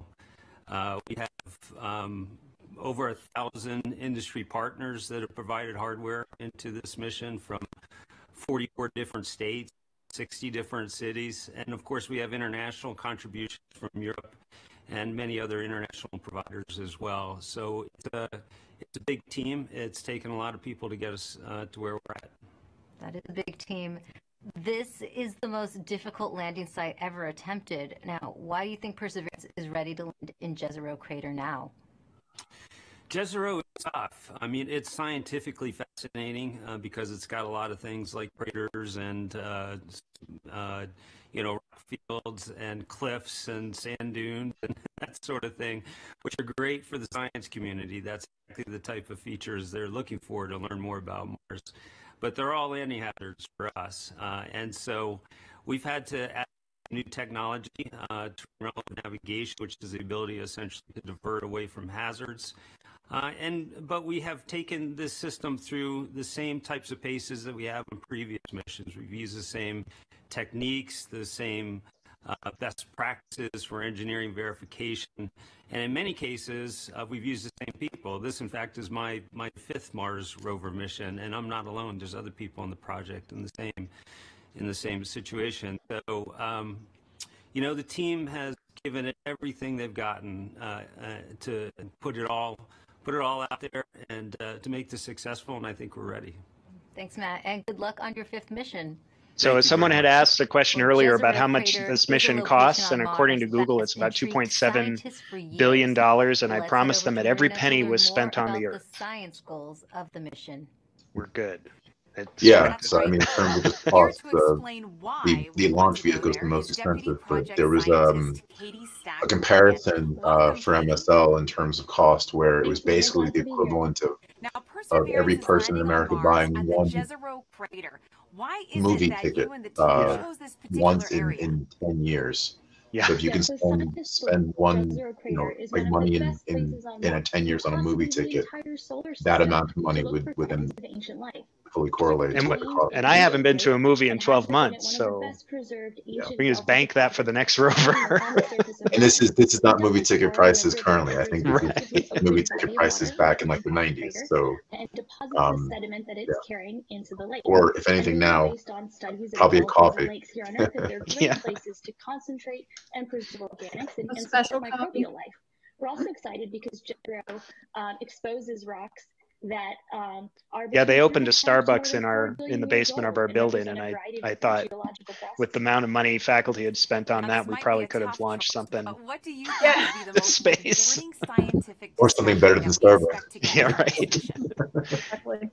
Is hands down, I think the most requ- re- rewarding discovery I think we can make with Perseverance would be finding a truly compelling ancient biosignature on God, I'm noticing that people are still wearing Mars record 2020 period of time logo instead of arose in the solar Perseverance. I know it's the same We had the logo, but with Perseverance to it's still going to be called Mars 2020 forever. once habitable world likely I still call supporting Mur ancient Mur. life to the current planet we Um, uh, it, it's, I think it's a product of uh, working on it um, and essentially or was ancient life on Mars. essentially getting data from from these missions, you know, raw data, and then being able to use it of scientific research. Um, you tend to, to to question and see these these these amazing instruments technology to answer um, and the whole is one of payload that goes on them as- um, as what you first heard them to be, so before their name, essentially. Um, and so should have been capable of uh, it's nice that that they that they get named, but just to kind of shout out the Mars orbiters. So I worked on on the Mars Reconnaissance Orbiter for about seven years, um, and so orbiters aren't normally named, or they're they're, they're actually not named uh, um, in terms of the kind of nicknames that the rovers have gotten. And one of the ideas is that in terms of the the face on a on the on the Mars rover is essentially you can kind of get an idea about like like the human version of like a face with the cameras and all of that, whereas orbiters are look more like birds in terms of the solar panels and all of that. Um, so uh, you know, naming you know human-like robots versus bird-like orbiters uh, might be a thing, but um, yeah. So. And also, I think social media, MER, uh, um, started kind of before the social media kick came on, so Right. they didn't get nicknamed until way later. Cute nicknames. Cute nicknames, right? cosmic rays that basically blew that atmosphere away. And once that happened, liquid water wasn't stable on the surface of Mars anymore. It was too cold, and there and, and the pressure was too low. And so now Ma- Mars is not capable of supporting liquid water, and, and likely not capable. I'm wondering if any other school groups have joined since you shouted out. If you um, are another school group or you're homeschooling or virtual schooling, pop your name in the comments and we'll shout you out. Thank you. Now sending it back over to you, Raquel. Thanks, Marina. Earlier, we were able to catch up with the communication systems engineer, Chloe Sackier. She helps us break down the system used to track Perseverance during landing. The communications infrastructure supporting Perseverance's landing is quite complex. We've rallied a truly global network of relay and communications assets to help us capture and record those precious minutes of entry, descent, and landing, or EDL. We receive a stream of engineering telemetry via these communication assets that helps us see and understand exactly what's happening. Perseverance sends direct to Earth X band tones, each of which provides us with indications of critical entry, descent, and landing events. During entry, descent, and landing, we have two Mars orbiters listening for the ultra high frequency oh, or we UHF Emily here. from She's a Weber Perseverance. These orbiters relay these signals to deep space network stations on Earth, Madrid in Spain and Goldstone in California. The Mars Reconnaissance Orbiter, or MRO, has reconfigured its software to perform a type of relay called bent pipe. This will provide us with near real-time telemetry during entry, descent, and landing. We have coverage from the Mars Reconnaissance Orbiter from just before entry to a few minutes after landing. The telemetry we receive will be delayed by the time it takes light to travel from Mars to us back on Earth. Additionally, the Mars Atmosphere and Volatile Evolution spacecraft, or MAVEN, is recording these UHF signals and will be relaying that recording hours after landing. MAVEN will be covering us from around the time of cruise stage separation until a few minutes after landing. We also receive what we call heartbeat tones, which are indications that the spacecraft is alive and progressing throughout entry, descent, and landing. It's important to note that while unexpected, we could lose our communication links and still land safely. Because Perseverance is doing entry, descent, and landing completely autonomously, she doesn't need our help to joystick the landing. The communication links give us added visibility. And you can see Chloe hard at work inside mission control awesome. right now. Perseverance's landing might look like the Yes. system the If I were a student right now, I would be in jumping into planetary science and astrophysics again. Um, it's so exciting right now. The fact that you could be that person who was just sitting in front of the computer. Oh, it's exciting. Nothing can be taken for granted when you I get to think Mars. every There's a lot mission sends back more data than we've ever gotten from all the other a way of missions. Throwing us curveballs and surprising us. I mean, until we get the data that says we're on the ground safely, I'm going to be worried that we're not going to make it. Entry, descent, and landing is often referred to as the seven minutes of terror because it takes about seven minutes to get from the top of the atmosphere of Mars to the ground safely. The spacecraft has to do all of this by itself. There are many things that have to go right to get Perseverance onto the ground safely. There's a lot counting on this. This is the first leg of our sample return relay race. There's a lot of work on the line. Starting about 10 minutes before atmospheric entry, we get rid of Ooh. really the spacecraft part of, of the Yeah, rover that's been supporting us. We come screaming in to the Martian atmosphere at 12 to 13,000 miles per hour. And the heat shield is what dissipates all that initial energy through friction. The vehicle will continue actually flying itself through the atmosphere. It's sort of like a transforming vehicle that went from spacecraft and now it's kind of like an aircraft actively guiding itself. When we're going slow enough, we deploy a parachute. the biggest supersonic parachute we've ever sent to another planet. It's critical for slowing down the vehicle. Perseverance's entry, descent, and landing borrows heavily from that of Curiosity. But fundamentally, Perseverance is a different rover. She's bigger, she has different instruments. We've added a lot of smarts on the inside to make it more capable so that it can deal with the landing site that we've given. The science team identified Jezero Crater as basically an ancient lake bed and one of the most promising places to look for evidence of ancient microbial life and to collect samples for future return to Earth. Uh, the problem is it's a much more hazardous place to land. When you look at Jezero, all you see is danger. How do we go to a site that we never thought was safe enough to go to before? So the heat shield, which has protected us all the way through entry, is no longer necessary. We need to get that off so that we can actually see the ground. And we can see the ground in a couple different ways. Perseverance will be the first mission to use terrain relative navigation. So while it's descending on the parachute, it will actually be taking images of the surface of Mars and determining where to go based on what it sees. This is finally like landing with your eyes open having this new technology really allows Perseverance to land in much more challenging terrain than Curiosity or any previous Mars mission could. Amongst the rocks and the craters and the cliffs, these things are hazardous to the rover, but these are the things that are interesting to the scientists. Once Perseverance has figured out where she is, jettison the back shell and parachute, and light up our rockets. Those rockets help us steer to a safe landing spot that's nearby. That descent stage takes us all the way down to about 20 meters off the ground. That's when we start the sky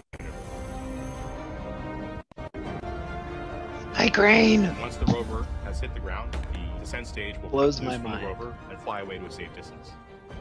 But surviving that seven minutes is really just the beginning for Perseverance. What Its job, Batman? right, being the first life of sample return, to go look for those signs of past life on Mars. All that can't start until we get Perseverance safely to the ground. And then that's when the real mission begins.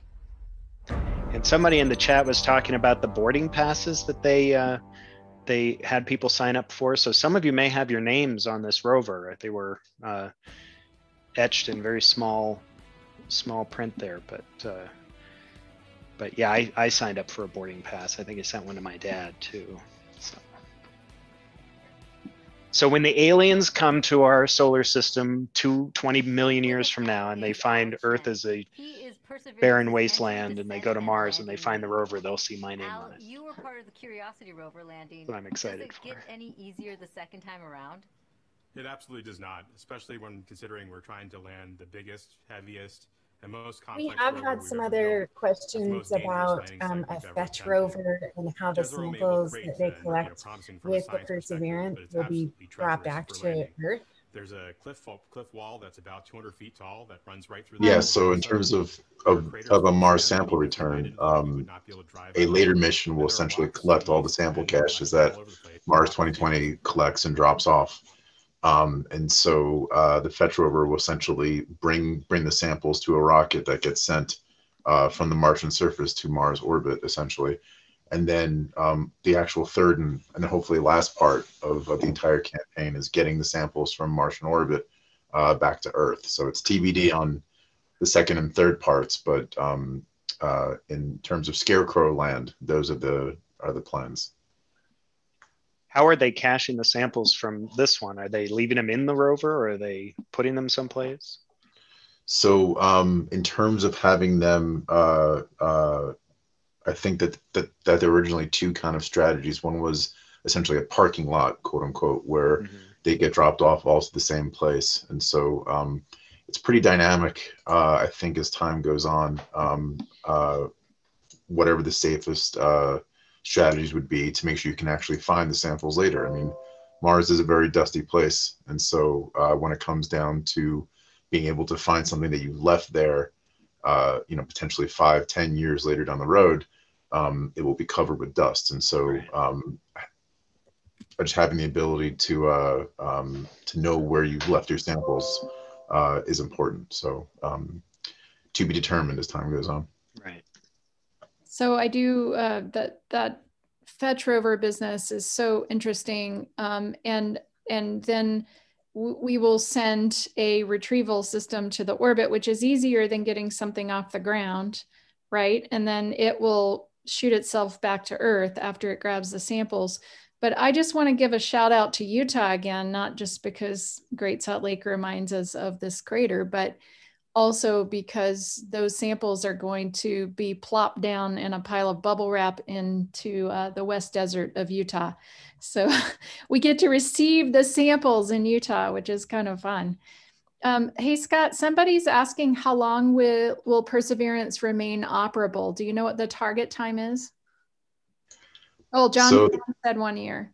But yeah, Yeah, the the plan is 687 Earth days. So essentially two two so so so one one Martian year is about two, two Earth years, and so uh, that's that's the the I guess quote unquote I I guess kind of mission guarantee. But um, you can imagine how much longer that's going to last, given um, or at least you would hope uh, that it's going to last a lot longer than just two Earth years. So there's there's essentially the prime mission where um, the main set of mission objectives are are sought out to be solved and and to be accomplished and then what what happens later on as we go into uh, different phases of of the extended missions and so that you're able to continue on in terms of doing work as time goes on uh, kind of building upon the initial mission objectives so um, for for the Mars Reconnaissance Orbiter that I was on, um, we were in the fifth extended mission, with the prime mission being uh, in 2008 or nine, I believe. I forgot when when it started, but um, uh, these later extended missions actually help for a lot of good science to be done um, uh, as time goes on because you're constantly learning as we're moving forward, and so for from the orbiter standpoint, we're getting a lot more coverage of the planet. From a rover standpoint, we're driving to new places. Um, but there's always a trade-off between the science that you're doing currently, where you're actually, you know, standing or at least are in terms of the rover, and then what goes on later on. And so uh, you have to assume that you'll never go back to the site that you came from. So as a field geologist and a field geobiologist, um, we have the luxury of going back to these sites whenever we we want to. Um, uh, given what we've learned. And so if, if we if we could not go back to the site later on, we have to make sure that we get all of the objectives and what we want to get done actually done before we leave, because we'll never come back to that specific site. So there's some questions that I, in the chat that I'm I'm always I always struggle to to answer about humans on Mars. Um, you know, uh, when when we plan to send people, and I don't know if NASA has any any more concrete plans than you know beyond the budget horizon, which has kind of always been the, the thing that uh, that NASA has said about uh, humans. But but could we ever expect to to send uh, humans to Mars in a reasonable amount of time? That's Reasonable, Such, that's yeah. an interesting question. I, I want to say one one quick thing and then turn this over to Scott, who can probably um, has a little more insight to that. But um, in the field of genetics that I came out of, um, we finished the human ge- genome sequencing 10 years earlier than anticipated because the private sector got involved. And then there became this competition between government entities and private sector. So I, I don't know if Elon Musk will be the first one, if SpaceX will be the first to um, send people to Mars. Um, but the collaborations between the private sector and the public sector are really interesting to me. Scott, do you want to comment on that?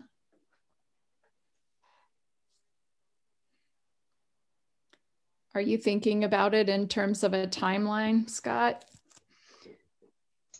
I lost the window for a second. Sorry. Um, So yeah, uh, in terms of collaboration and being able to to move things forward at a much more not efficient pace, but being able to not lose, I guess, the science fidelity as we move forward, um, and still being able to do things in a in a kind of reasonable uh, strategic space. Um, humans, in terms of being able to do uh, um, what we're doing in terms of sample return and actual analysis, having a human being at your field site is obviously something that that is um, a lot more efficient, but also critical to understanding um, what the features are that you're looking for. So, um, so when it comes down to uh, um, that kind of collaboration and bringing that forward, um, it, it, it, it does help uh, if you're able to keep in mind um, both the kind of strategic standpoint, but also the science you're looking to do on these sites. And so th- there's no obviously estimate in terms of uh, when. There's obviously plans, and and and the the seeds have been planted in terms of human spaceflight. Um, uh, about I don't know, maybe four or five years ago, there was a human landing site workshop um, uh, that the Lunar and Planetary Institute uh, ran. Um, typically, where we have the Lunar and Planetary Science Conference.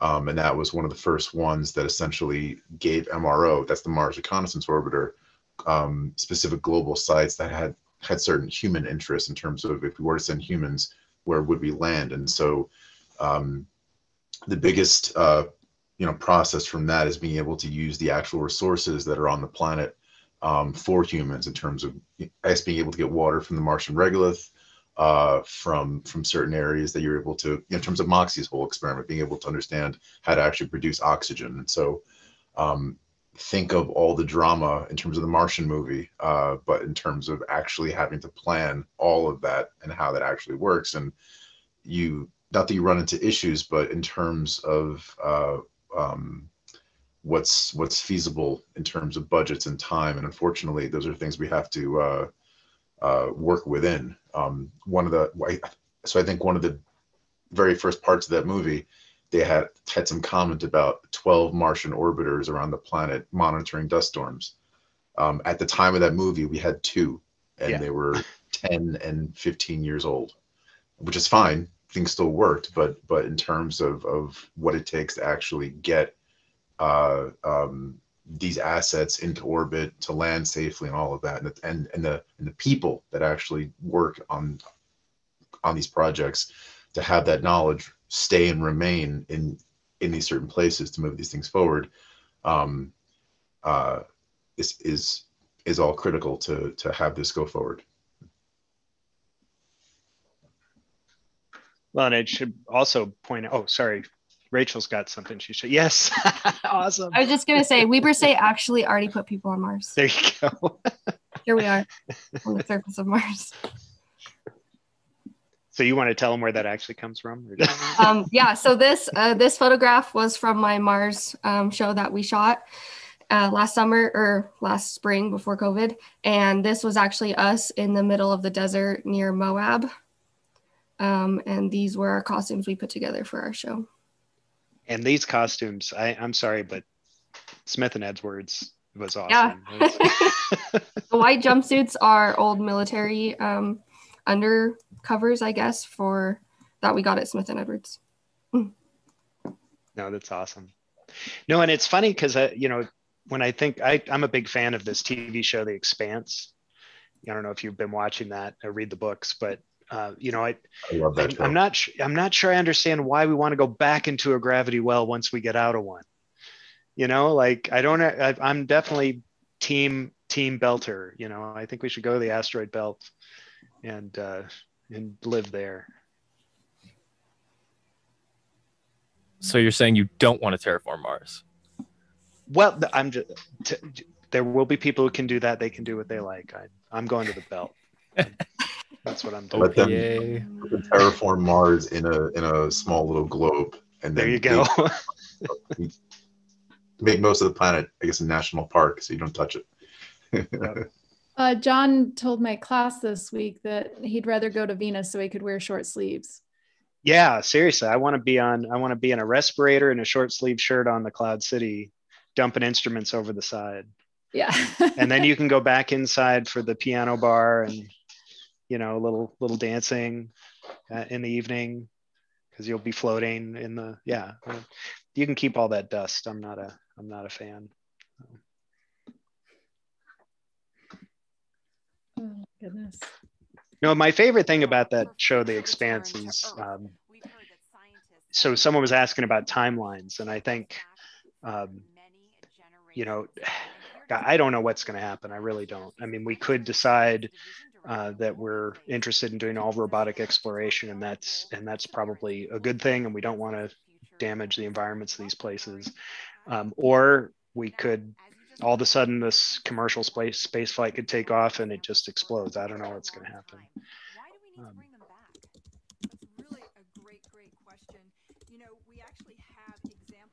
but things can happen fast, I think, if they decide to. So Jeff asked it'd be cool if we could grow potatoes on Mars. Agreed. I would like to bring a different fertilizer than what they used in the Martian. But, uh, changes what those, those rocks are like. So being able to go to Mars and actually collect a sample where we know exactly where it came from and we know uh, we can preserve it and keep it pristine and carry it all the way back here. This will be incredibly important to help us answer questions about uh, the geologic history of Mars, uh, understanding how it formed and evolved, and also really important questions about whether or not life actually existed on Mars three and a half billion years ago, and whether that life, if it existed, has been preserved in the surface of Mars. Now, Lori, these sample tubes that Perseverance is going to be collecting, they're the cleanest things ever created on Earth. Tell me a little bit about that. Oh my goodness. We worked so hard. The team here at JPL is absolutely incredible to assure that those sample tubes are incredibly clean. One of the main goals of this mission is to be able to detect if there's actual life that's preserved, um, ancient life preserved in those rocks, in those samples. And we definitely don't want to be carrying, you know, our own DNA off to Mars and then bring it back here to confuse our, our scientists when they're trying to study those samples. So it, it is an incredibly clean uh, set of uh, equipment that's been sent there. As you said, the cleanest thing we've ever sent into space. Now, this is a very complicated campaign. Can you break down for us how it's going to work and if there's any international partners working with us?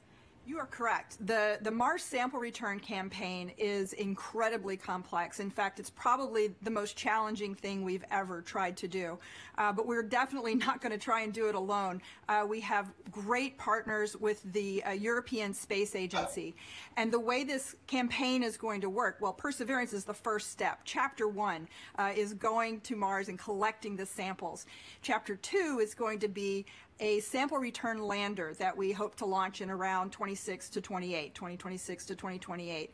And that lander, uh, it'll be an American lander carrying uh, a fetch rover that's provided by European Space Agency. And that little fetch rover will drive out and pick up the samples that Perseverance left on the surface of Mars.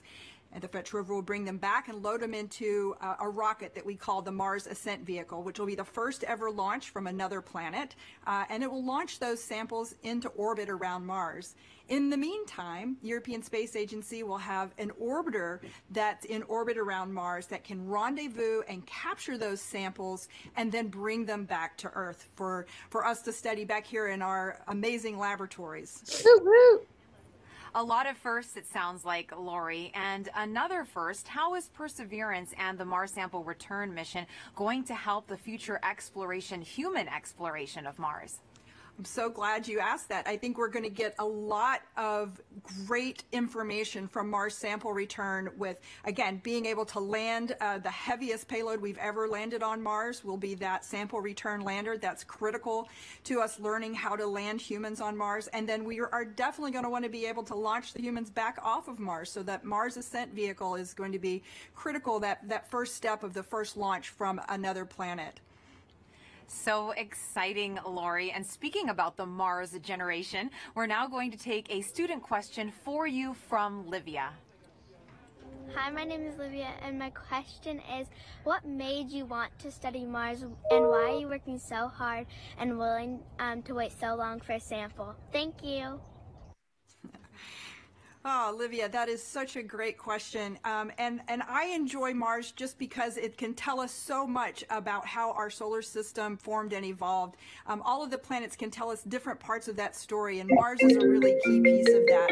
And one of the main reasons we're willing to wait so long to get the sample back is that we've got great new scientists that are all about your age and in about 10 or 15 or 20 years, you'll be the generation that's going to actually get to work with these samples. When, when they come back, you'll be the scientists and engineers that will, will be the, the next generation to, to change how we think about, uh, about Mars and how we think about life in the solar system.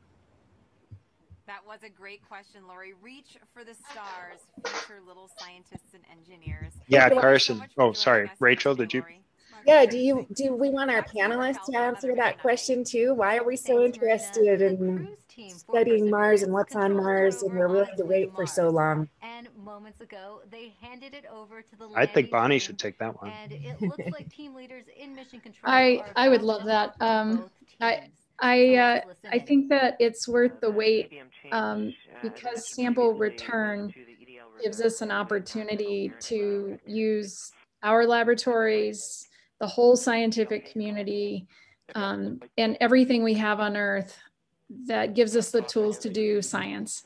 We don't have those things on, you know, we don't have those things on Mars. We don't have all of these amazing laboratories that we could um, make use of.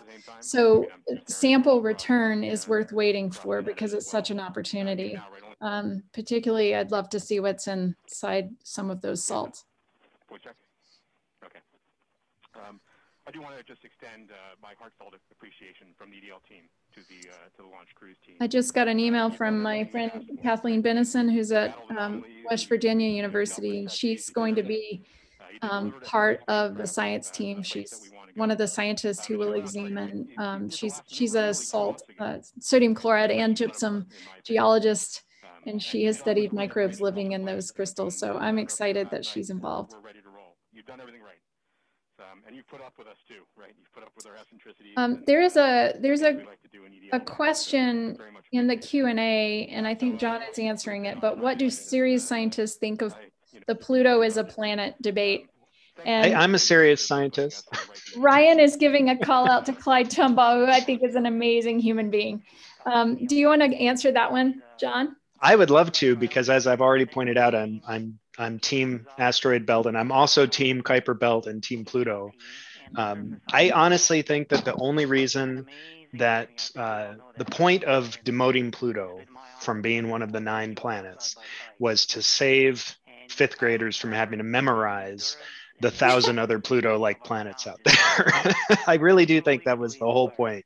That is uh, an of that. excellent point. That's an No, it's serious because it's such an arbitrary distinction. I mean, they talk about the, you know, the definition of a planet is that it has to clear its, it has to clear its orbital space. Well, Earth didn't clear its orbital space. We've got the moon, right? I mean, there are all these things that you could argue back and forth. Um, I think the the reality is, is most serious planetary scientists recognize that it's a spectrum. I mean, if you took the moons of Jupiter and removed Jupiter, you would have four planets some of them are larger than our moon and and even the size of mercury you know so so i think it's you know there are there are moons of planets that are as big as some of our our planet. so i think it's it's kind of an arbitrary distinction and and it's one of those things that you know science is rarely done by by vote by vote and they basically voted on whether or not to make pluto a planet and so you had to make a decision one way or the other um, but I, I for me when I think of Clyde hanging out, uh, you know, taking those observations. Oh, something just happened. What just happened?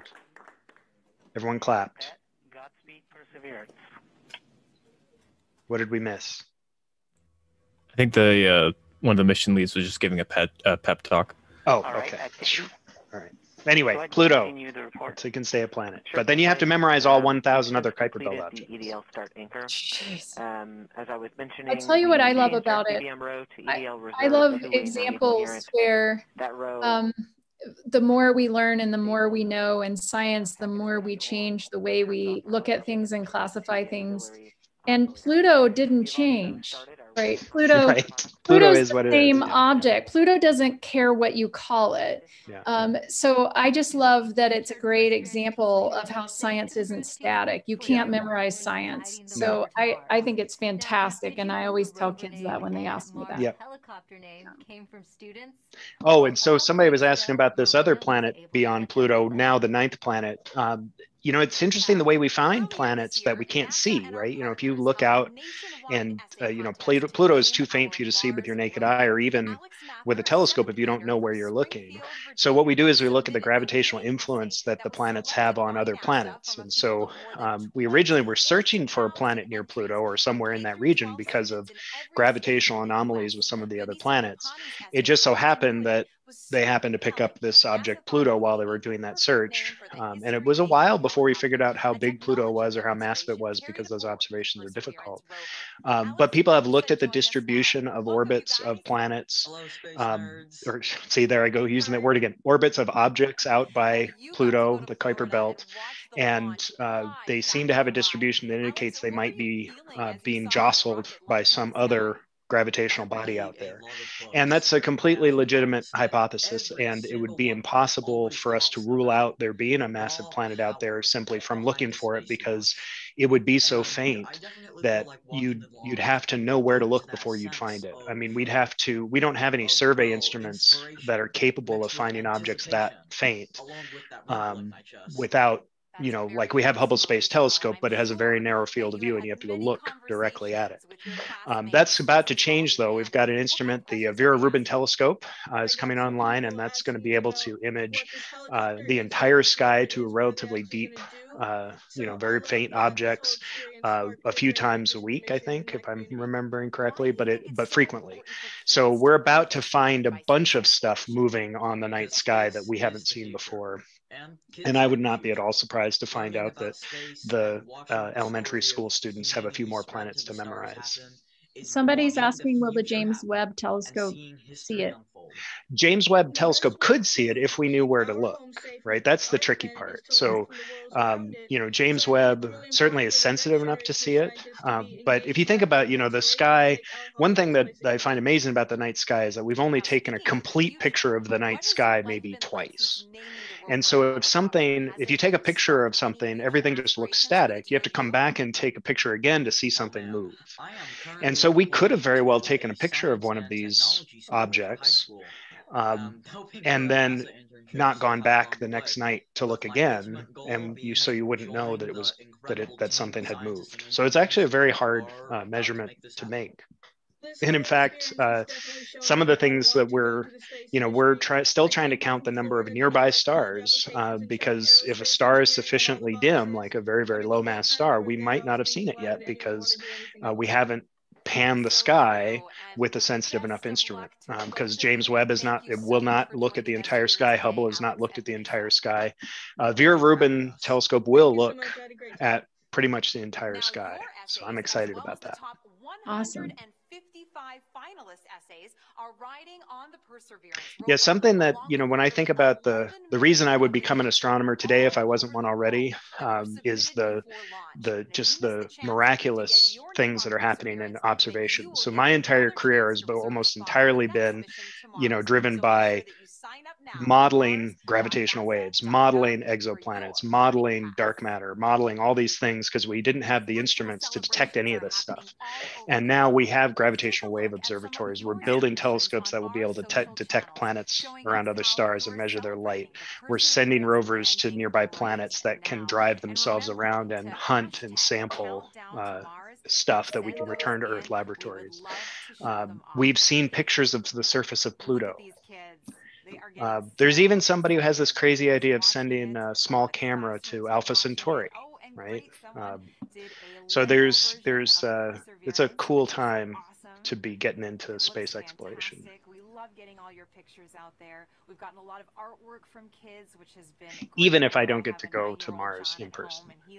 What do you think about the microphones that are going to be on Perseverance? I am so about? excited about those. Yes. Talk about those. that looks so great. What will we hear, John?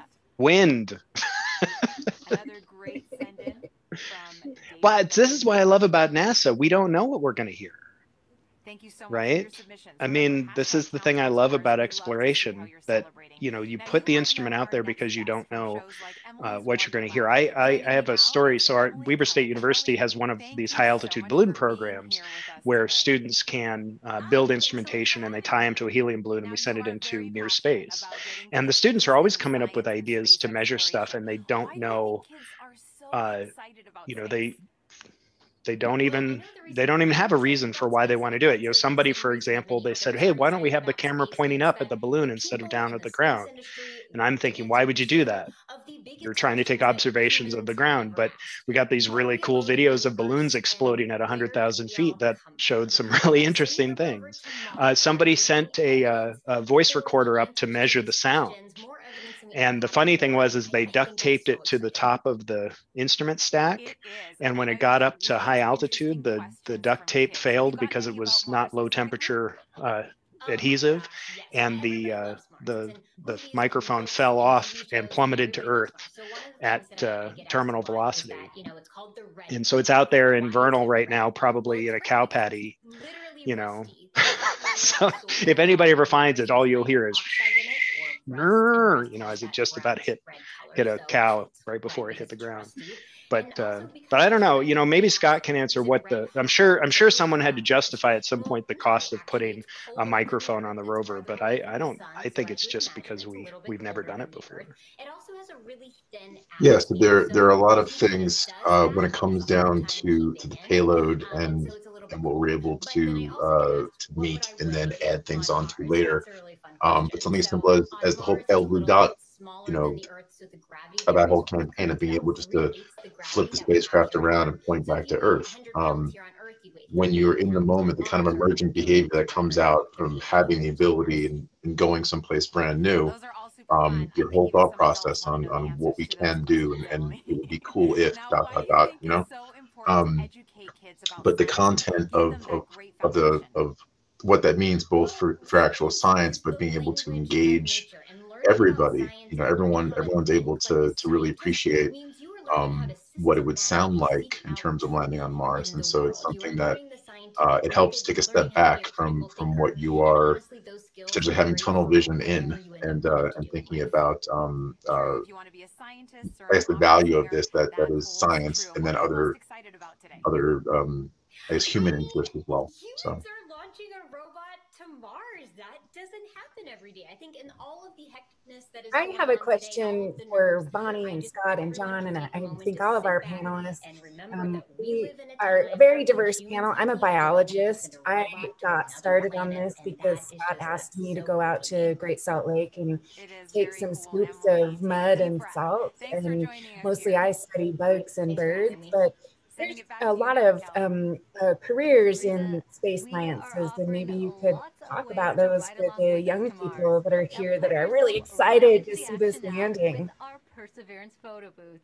You can pose next to the rover. I, I think that's absolutely right. Um, I, I'm currently teaching astrobiology and I'm also teaching um, geobiology of the universe. Um, I'm a biologist um, who didn't have training in space science or geology. Um, and the coolest thing about the best science that's going on right now is that it's interdisciplinary. And the, this old idea that science lives in separate silos and separate departments and separate buildings needs to go away. Um, mm-hmm. and so I I think that um, there are a lot of there are a lot of roles to be played in understanding, particularly if we're asking questions about life. an astronomer can't ask questions about life without talking to people who work in life sciences, and a life sciences person can't do that. Think about life in rocks without talking to a geologist. And there's just so many. Uh, and I think you can probably tell that computer science is also playing an enormous role in this mission, right? and engineering and you know so much on the table so that's the thing i get the most excited about what about you guys well i so i was part of the university of washington's astrobiology program back in the late 90s when it was first getting off the ground and uh, I remember, you know, we got a big grant to do this interdisciplinary project. And when the when the people came to talk to us about this grant, they we talked about what Bonnie was just saying about how we wanted to work with other disciplines and wanted to talk to all these things. And one of the one of the scientists on that panel said, "Well, you're never going to get a job where you get to work with other scientists in different fields. I mean, when you study astronomy, you'll be an astronomer. When you study physics, you'll be a physicist." And that turned out to totally not be true. I mean, this is not true at all. And it was interesting to see this, you know, this change. And I remember as a graduate student, it was, the, you know, when we first started kind of crossing boundaries, there was a lot of pushback because, you know, there's some institutional like budgets are set by department and set by college and and resources are scarce. So people, you know, argue over who gets the money to do what. And so, you know, and, but the mentality is changing. I mean, we just passed um, or I should say, we just started a bunch of new programs at Weber State University that are not only interdisciplinary within the College of Science, but are interdisciplinary across the entire university.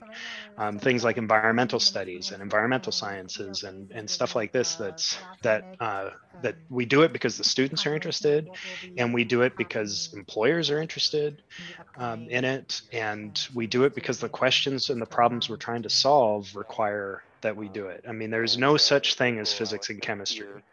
There's the universe, and up until now, physicists had looked at it one way and chemists looked at it another way, but there really isn't you know a distinction between those two fields uh, especially now that we're working on materials science and materials characterization and, and new things. So yeah if, if it's up to me you know this whole idea of scientific disciplines which is completely arbitrary and historical uh, will go away. Uh, so I'm, I'm proud to have been a part of that. Profile uh, will do a maneuver called uh, heading line. That said, study physics, it's the best because I have to say that, right, Bonnie? I guess so. I always tease my chemistry students. I say around here we pronounce that physics, but uh, but I'm honestly kidding. You know, at, at Weber State University, and this is not a joke, we have three biology programs at Weber State University, and they are all distinct and awesome and amazing. Um, it's very rare to have that many biology programs, but they all have a different focus, and it's spectacular. Um, and I don't see anything wrong with having you know that type you know some people more interested in microbiology or zoology but at the same time those groups work together really well um, so so I think it's it's kind of fun. Maybe maybe we should think of disciplines more like you know sports teams you know, it's fun to have a little rivalry and stuff like that, but otherwise we're really all playing the same game. So I have actually absolutely always hated sports metaphors. I think I'm not a sports person. Like they always go over my head. And sometimes being the only woman in a room, it felt like it was a language that I didn't understand. Not that they're not female sports aficionados, but See, I was I, thinking about horseback riding. yeah, I know you. I I absolutely hate sports metaphors, and I don't like the competition between departments. I like collaboration and synergy. So I'm going to push back on that. I I hear you. I I, I agree with this. I, agree I don't think this. we should be choosing a team. I think we should. we should we should all be passing the ball to each other, whatever sports ball it is. whatever sports ball. I'm on. I, I I think we agree. Team collaboration. I'm really lucky to to work with the colleagues that I work with because they they uh, honestly being we're we're still small enough that we're in a one big building with all of the sciences and i think that really that really helps. Agreed. agreed um, us too and i i think it's uh, phenomenal how much cross disciplinary work that breeds just being in proximity. so we we just got a question in the chat. This is this would be a good question for um, for my planetarium staff because they've probably been reading a lot of these. so it says what books would you recommend for information about mars rovers etc i'm a mom with our kids doing online school, and I'd love to get fun books for elementary and young adult ages. And Weber State Science alum. Woo. Awesome. Can you think of any fun Mars books? Uh, Jamie's been doing a little work with um, her daughter Cora's class. Jamie, have you come across any books that are appropriate for elementary kids? You know, we've really been doing uh, more of watching of the NASA videos um, because they're just so wonderful and short. I don't have any good answers.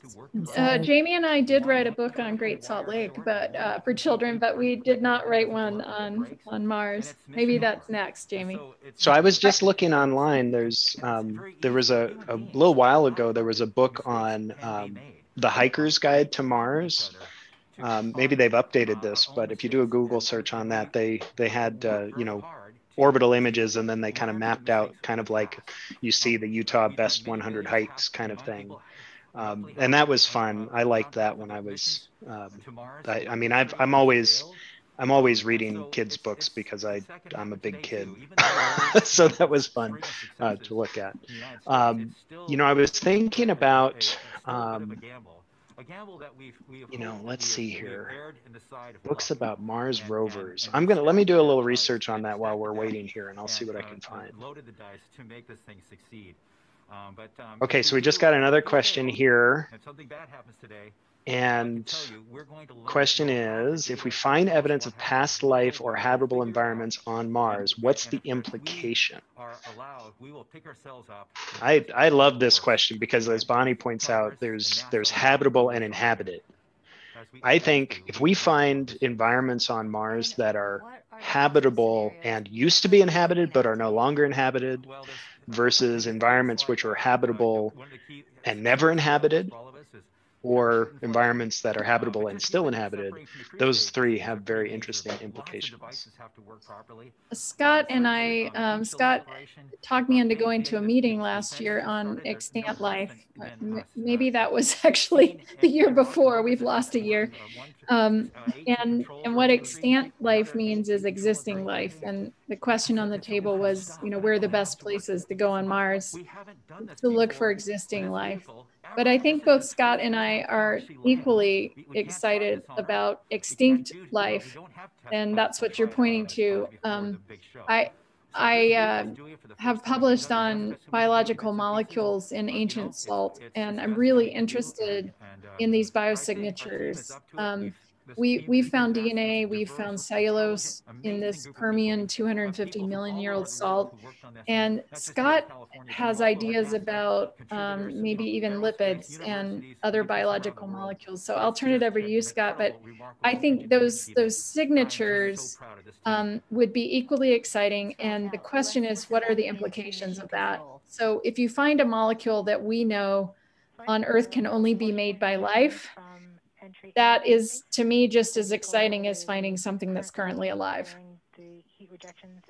Yeah. So in terms of both extinct versus extant life, the the ability to distinguish between the two obviously is is huge when it comes down to actually validating that it is ancient life that has survived versus contamination. But it's obviously a lot easier if you have extant communities life that's actually present now.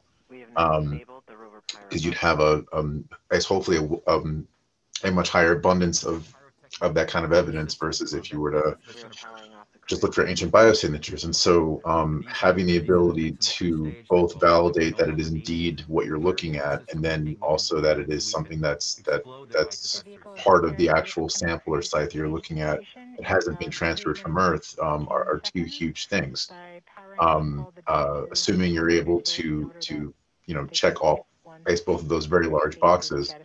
Um, separating out uh, how you'd validate what it is and being able to understand its kind of ecology outside of Earth's tree of life, essentially. And so it's something that that's that's the whole life as we know it versus life as we don't know it kind of feature. And so where, or at least how how far back in in Earth's evolution in terms of life on our planet um, should we think of life outside of Earth? And so um, it's, it's something where you have to take into account the ecology as well as as both the mineral microbial interactions um, and, and, and, just the evolution of life outside of Earth. So if, if that was the case, um, how would you be able to determine where that evolution is currently and where it was prior?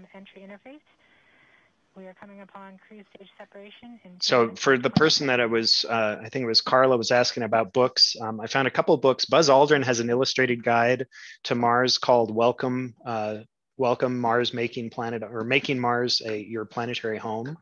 And I sent a link to that in her in her answer there.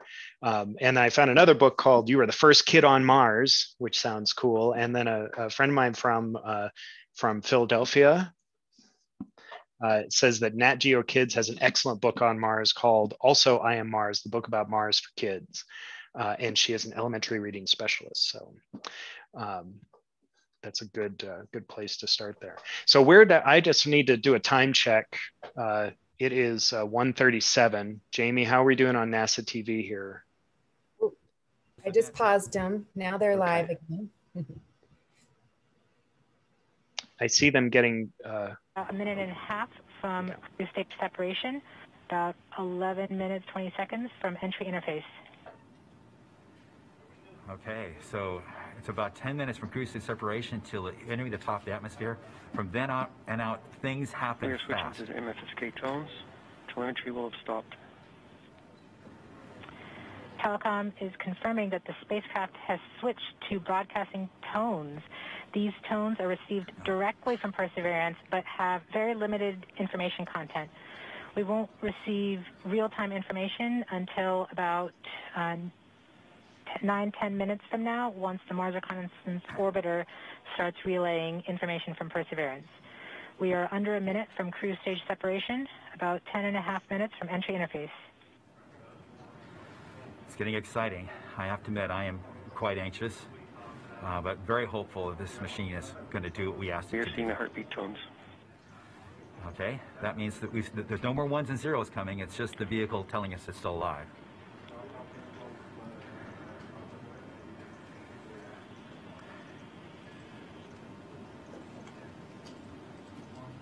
We're continuing to receive tones from Perseverance, coming standing by for cruise stage separation. Did they say 10 minutes? Yeah. Yeah. I um I did want to say something about Scott's life as you do not know it. Um I We have indication that cruise stage Oh. separation has been confirmed by the spacecraft. oh never mind. This is more exciting. We're off on a good start. In about one minute, Perseverance's landing software will wake up and begin the final preparations for entry. The first action it will do is to fire warm-up pulses with its entry thrusters. These pulses ensure that the spacecraft gets the thrust that it wants during entry interface. We're about nine minutes from entry interface. Woo! Okay, so now the vehicle's on its own. It's gonna, it's turning itself into the direction of facing the heat shield toward Mars, and uh, and will eventually uh, uh, hitting the top of the atmosphere. We're not far away. This is going to go very quickly from here on out. Chris uh, Lecluse is asking about the lag time. Um, uh, Chris, let, let's ask Scott and John, that, what's uh, the lag got time? shadowed by the cruise stage uh, it It's about seven light minutes. through our So to the Earth. 14 light minutes for two for for for a two way. Telecom So indicated actually that we um, could what we're see seeing is about signal seven that and the a stage went light minutes, uh, the seven and a half minutes Perseverance delayed. and Um, So we saw a little and so the round trip is about 14 uh, light minutes. the data stream indicating So does that stage mean what we're seeing happen 14 minutes ago? We have confirmation that the vehicle has started warming light up those minutes, entry that's the delay. thrusters. Warm So pulses have begun. We're so so so we have a delay. Yeah, so so it's about seven minutes. So we have a delay um, in terms of what what's happened. So we're getting information back. So uh, to get a full confirmation, you know, two ways, about 14 stop light its minutes. spin from Or the cruise two revolutions per minute down to zero, and then we'll turn to its desired orientation from entry. It will se- separate the two balance masses that have kept it balanced during all of cruise. This will allow the entry capsule to have lift when it enters the atmosphere. We have confirmation that the spacecraft has turned to the desired entry attitude. We are about seven and a half minutes from entry interface. Okay. So that means it's just entering in the right now? Direction. Thrusters are warmed up and doing their job, and now, now the, we've we've spun down from the two revolutions per minute that the vehicle had the whole way to uh, the way to Mars as a spin stabilized spacecraft, and then from here on out it's going to just be a bullet, and it's going to control its orienta- orientation and attitude via rockets on the back of that MRO back shell. points carrier lock. Uh, sorry, MRO. The DTE from uh, Radio Science from uh, Green Bank reports carrier lock. You see the carrier on the downlink.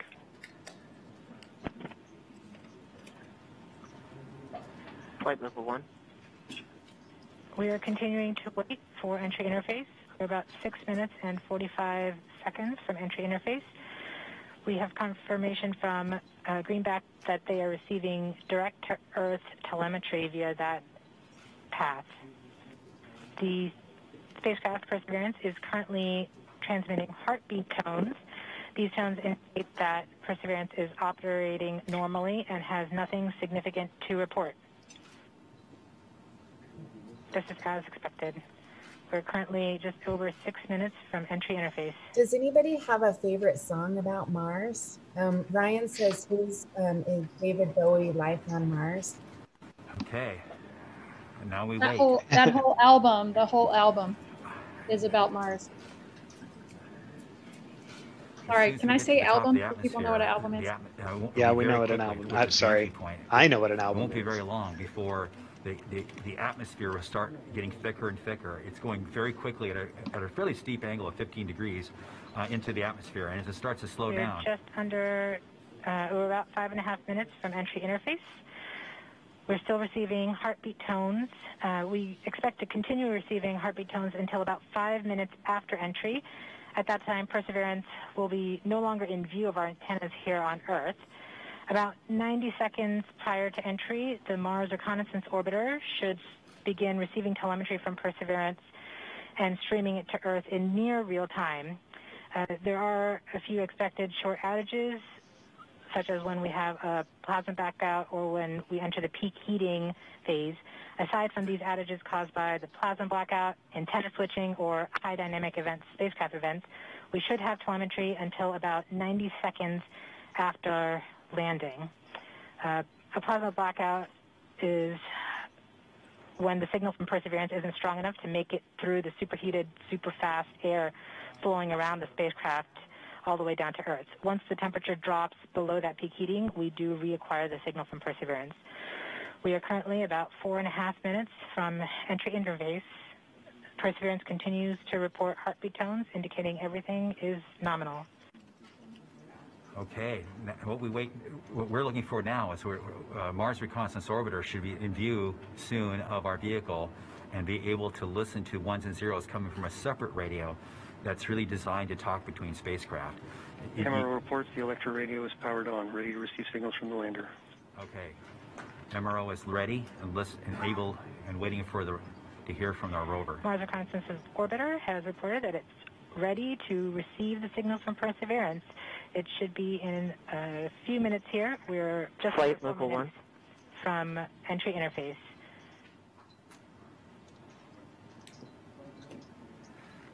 We don't need these ones and zeros, as Swati said, um, but to land safely. But we we really need it for our own uh, health and well-being today to keep our nerves under control. But Around this time, a second spacecraft, MAVEN, should begin picking up telemetry from Perseverance and will continue to record that telemetry until several minutes post-landing. We won't get that data for several hours after landing as it's being recorded and then will be forwarded to Earth later. We are continuing to receive heartbeat tones indicating that everything is nominal. We're currently at about three minutes until entry interface. okay, I just heard that Miss Arnold's class at Doxy Elementary showed up. very soon we'll be getting ones and zeros. I hope from our radio on the rover.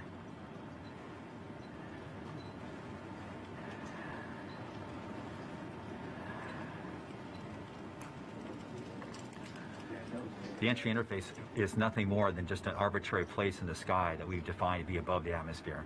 But, th- but from that point on, uh, there's definitely uh, atmosphere, and above it there isn't. We are two minutes from entry interface. Perseverance to transmit heartbeat tones indicating everything is nominal.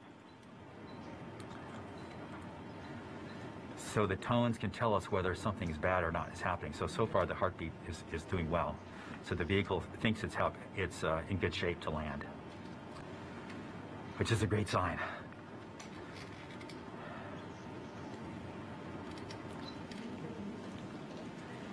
Uh,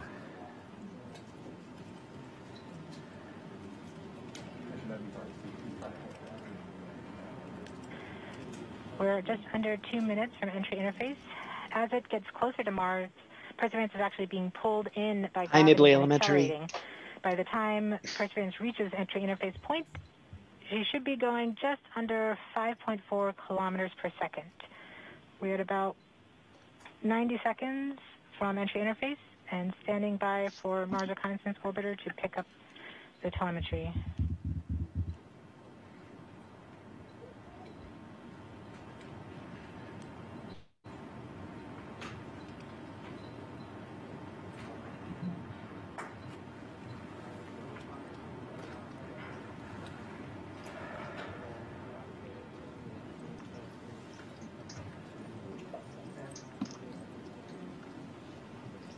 OHS Astronomy is watching. We are one minute from entry interface.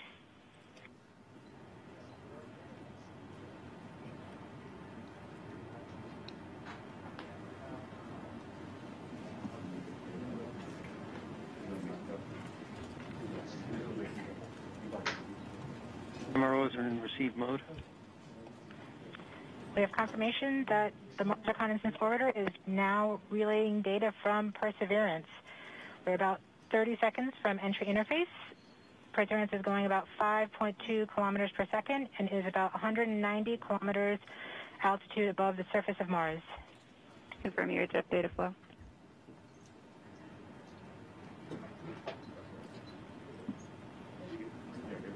About seconds from entry interface.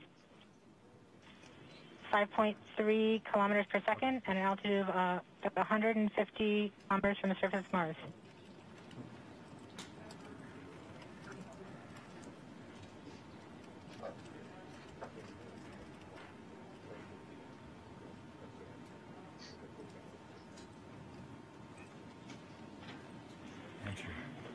We have confirmation of entry interface. Perseverance is currently going 5.3 kilometers per second at an altitude of about 120 kilometers from the surface of Mars.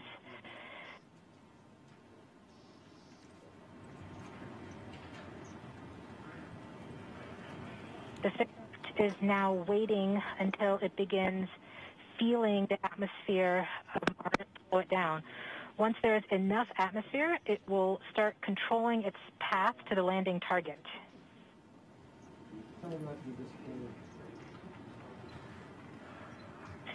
Navigation is also confirming that we can see a little bit of that slowdown of the atmosphere on the Perseverance entry capsule. Our current velocity is about 5.36 kilometers per second and an altitude of about 67 kilometers from the surface. We are probably seeing MRO plasma blackout at this point.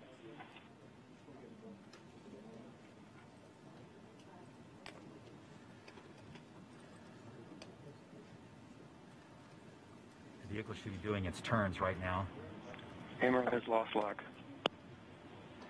Perseverance. We have indications that Perseverance is now performing bank reversals in the atmosphere. These are the steps in order to control its distance to the landing target. Uh, Perseverance has just passed through the point of maximum deceleration and has indicated that it felt approximately 10 Earth Gs of deceleration. MRO has lock again. Yes. Yes. Yes. Yes. yes. We saw a small outage uh, of the UHF telemetry from Mars Reconnaissance Orbiter during that peak heating phase, likely caused by the plasma blackout. Perseverance is still continuing to perform bank reversals in the atmosphere to control its distance to the landing target.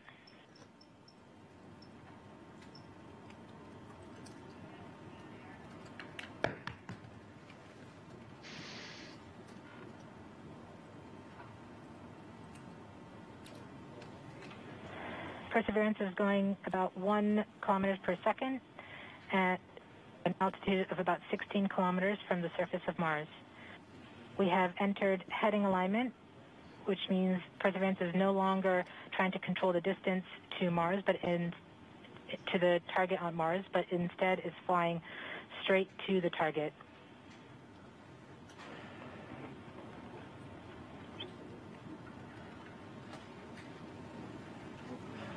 Parachute.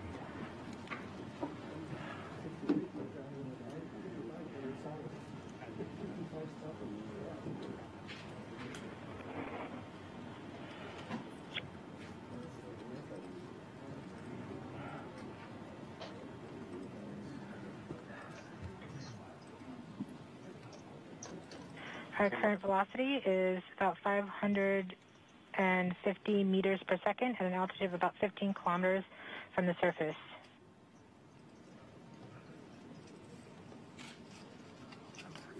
MRO's reporting good telemetry log. We are coming upon the straighten up. We are starting the straighten up and fly right maneuver, where the spacecraft will jettison the entry balance masses in preparation for parachute deploy and to roll over to give the radar a better look at the ground. Yes, yes, yes. The navigation has confirmed that the parachute has deployed and we are seeing significant deceleration in the velocity. Our current velocity is 440 meters per second at an altitude of about 12 kilometers from the surface of Mars.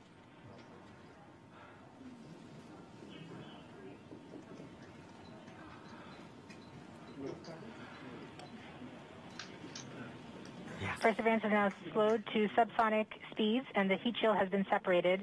This allows both the radar and the cameras to get their first look at the surface. Current velocity is 145 meters per second at an altitude of about 10 kilom 9.5 kilometers above the surface.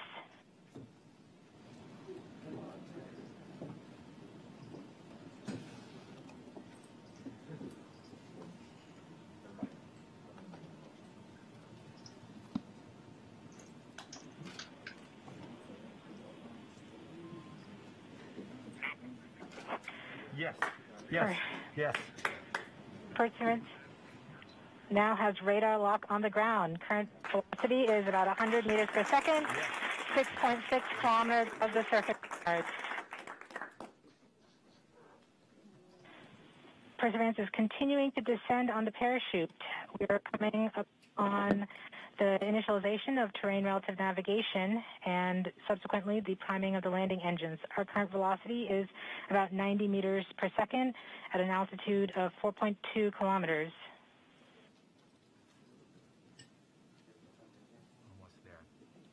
We have confirmation that the lander vision system has produced a valid solution and part of terrain relative navigation.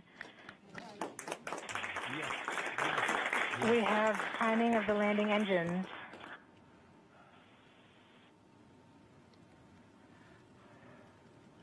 Current velocity is 83 meters per second at about 2.6 kilometers from the surface of Mars. We have confirmation that the back shell has separated. We are currently performing the divert maneuver. Current velocity is about 75 meters per second at an altitude of about a kilometer off the surface of Mars. Here in Safety Bravo. We have completed our terrain relative navigation. Current speed is about 30 meters per second, altitude of about 300 meters off the surface of Mars.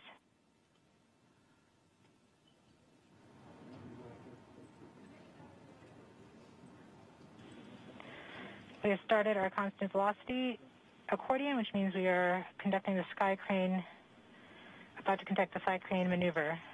We've lost direct to Earth tones. As expected. As expected. Sky crane maneuver has started. About 20 meters off the surface.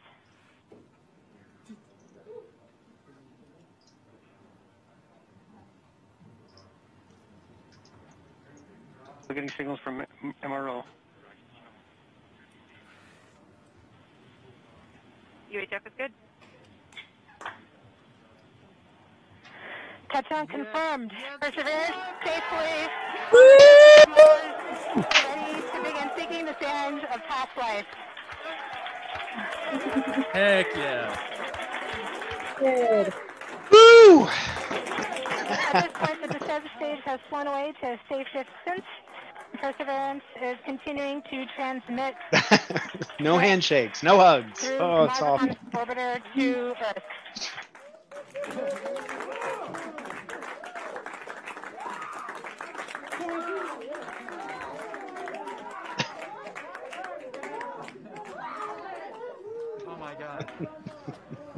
Oh.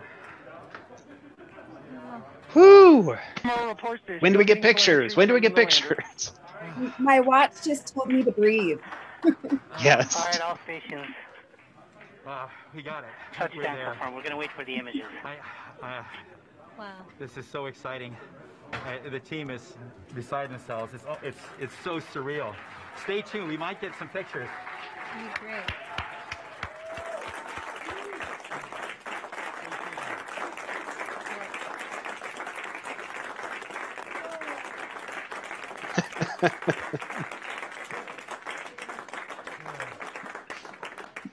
So much has been riding on this. We needed that.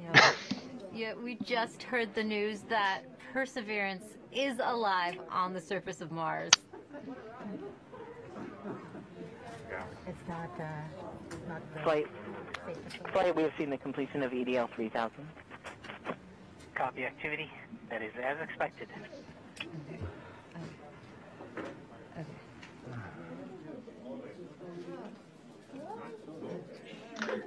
Emerald, strong signal from the lander.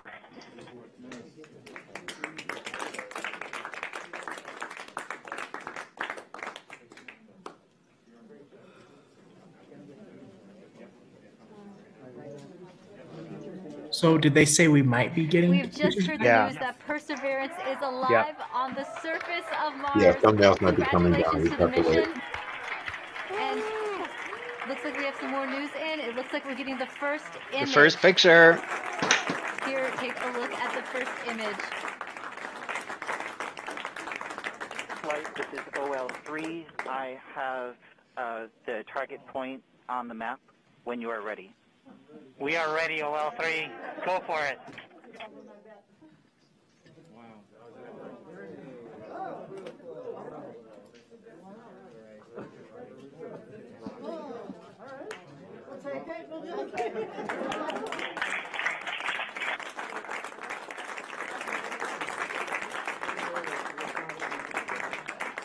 Flight, I'll be uh, moving in, showing you the safe zone that we've landed in. Woo! there it is. Just heard the first image from Perseverance on the surface of Mars. Now, it comes from the engineering cameras known as the hazard camera. Uh, this camera is mainly used to help the rover drive safely around Mars, and we will get higher resolution photos later in the day. Woo! Yes. This is amazing.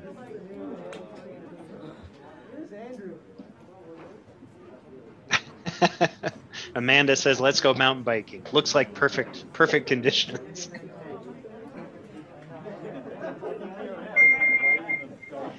Whew! Wow. I'm always surprised at how emotional that is. I I think I need to go change my rover dress my perseverance dress now. You were supposed to wear the the astronaut pants. yeah, I know, but I had I had curiosity and, and opportunity on my dress. Now I got to go put perseverance on now that it's landed. there you go. That's spectacular. Looks like Mars. Look at that. Hey Scott, it didn't look like there was a ton of dust that it, it billowed up around it. I thought there would be more dust. There is or there isn't? We've got our second image It in. looks- Our seemed like second there a image lot of dust. is in. Okay, this, these, these, we have a camera in the front and out rear of the, of the, of the spacecraft. Uh, it's, uh, it's, it's, they're near the ground, so these are pretty close. You can see the wheels there. Uh, and, and, and, and they're a little dirty because we've got uh, glass covers over these, these cameras. But uh, we took these seconds after landing, so, so there's still dust in the air from our landing event. Uh, so this is, this is happening, um, uh, you know, this happened just seconds ago, just arrived. And uh, this is really amazing. And, and uh, we even know where we landed. This is the most amazing thing. The vehicle has told us where, where it's landed because it knew, figured it out. You know, this is a sign. NASA works. NASA works. You're When we put darn our right. Together and our hands together and our brains together. You're darn tootin'. We can succeed. This is what NASA does. This is what we can do as a country. On all of the problems we, we have, we need to work together to do these kinds of things and make success here. happen. Yeah. This is the best, the best, the best. Joining us now is the acting administrator of NASA, Steve Jurczyk. Steve, welcome and congratulations. Hey, thank you. What an amazing day. And how does it feel to have another rover on Mars? Uh, it, it's amazing um, uh, to have Perseverance join Curiosity on Mars, and what a, what a, just a credit to the team. I mean, just what an amazing team um, to work through all the adversity um, that goes and all the challenges that go with landing a rover on Mars, plus the challenges of COVID, and um, and just an amazing accomplishment. And what does this mean for NASA and its future plans? So for robotic exploration, every time we um, execute a mission with new instruments, we discover new things and things we never thought we would discover. So that's that always informs our future robotic missions, uh, both landers, rovers, and orbiters. Um, this mission also has technology on it. One of the cool things is the Ingenuity helicopter. Um, it's, a, it's an experiment on this mission, but if it's successful, we can use it as an observation, science observation platform by putting instruments on it, and also use it as a scout um, for future rover missions. And, uh, and then just the entry, descent, and landing um, capability. Um, it'll allow us to land more and more larger, more ambitious robots on the surface of Mars. And then for human exploration, um, we have the MEDLI, Med, uh, Mars Entry, Descent, and Landing Instrumentation, which is going to give us EDL information. Um, we have the Mars Environmental Dynamics Analyzer. It's going to give us uh, properties, size and properties of dust particles, because when, when we send people, we're going to have to deal with that dust. Um, and uh, just, it's just, this is just an incredible mission because of the science and the technology, and then caching samples for a Mars sample return mission. That will be an amazing mission, the first round trip to Mars and back, and bringing those samples cached by Perseverance back to Earth to examine with state of the art um, equipment in our laboratories here on Earth. We have so much to look forward to. And we also have a student question coming in from Landon. Let's take a look. Hi, my name is Landon Applegate. I'm in sixth grade and I'm going to Academy for Academic Excellence. And my question is Do you think we could get resources from Mars to help on future missions or even as like a launching point? Great question, Landon. Actually, we have an experiment called the, Mox, the Mars Oxygen In Situ Resource Utilization Experiment, or MOXIE, and it's going to gem- demonstrate generating oxygen from atmospheric CO2, and that could help gener- uh, develop, you know, uh, generate breathable oxygen, and even if we can liquefy it, oxidizer for propulsion systems. So that's a tech demo on Perseverance.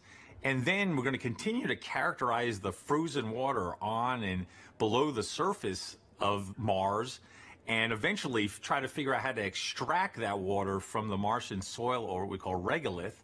And then we can use that for potable water and also break it down into oxygen and hydrogen for rocket fuel. So absolutely, we're going to try to eventually figure out how to live off the land to support human missions to Mars.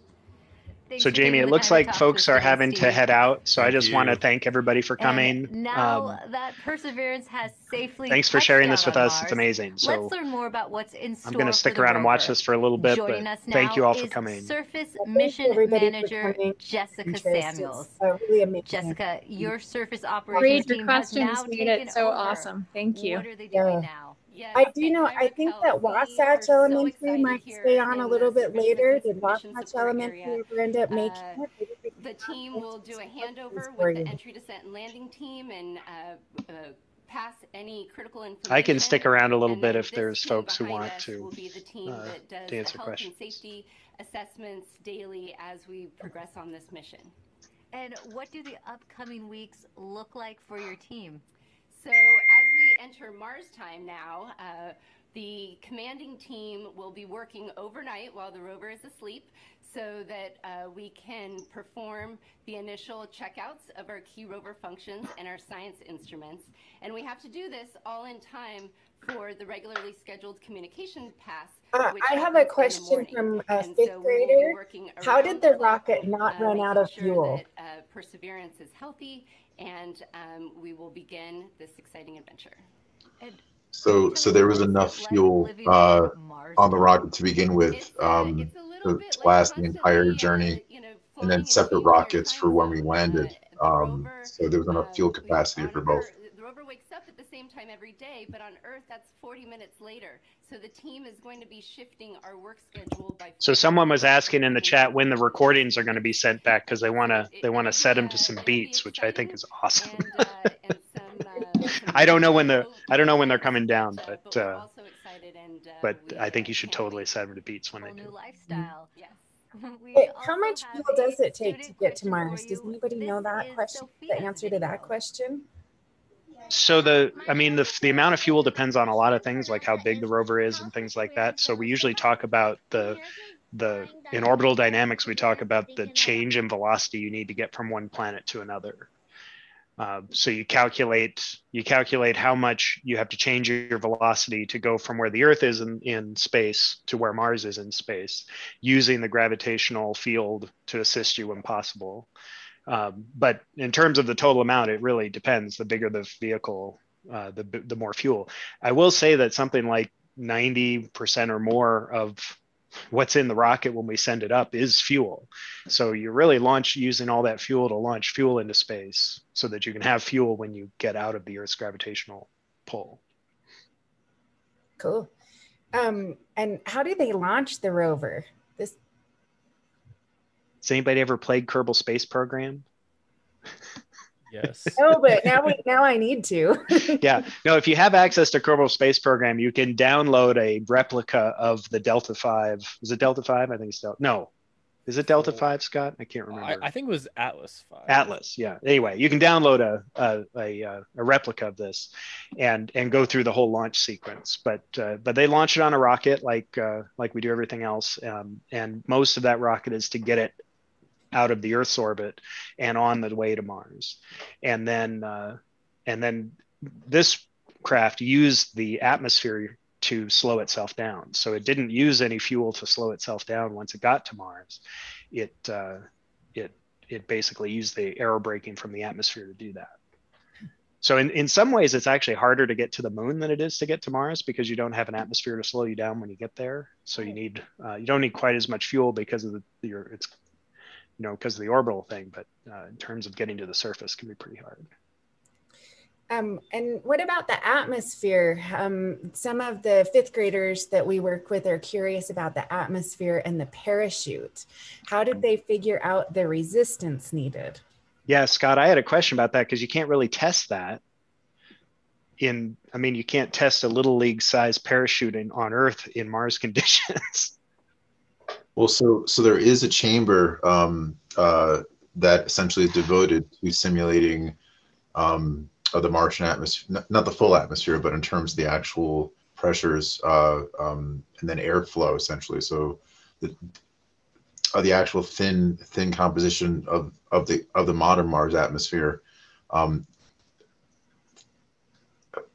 fully dictates the actual parachute uh, length and size and um, and and the whole dynamics that you're able to to actually use. And so um, it definitely goes through um, that kind of testing. And so uh, tests are done, and essentially certain adjustments are made uh, to the parachute. But but as John mentioned, uh, the mass of the actual object that that the parachute is helping land uh, is the most direct relationship to to the size of the parachute that you need. So. How is the rover powered?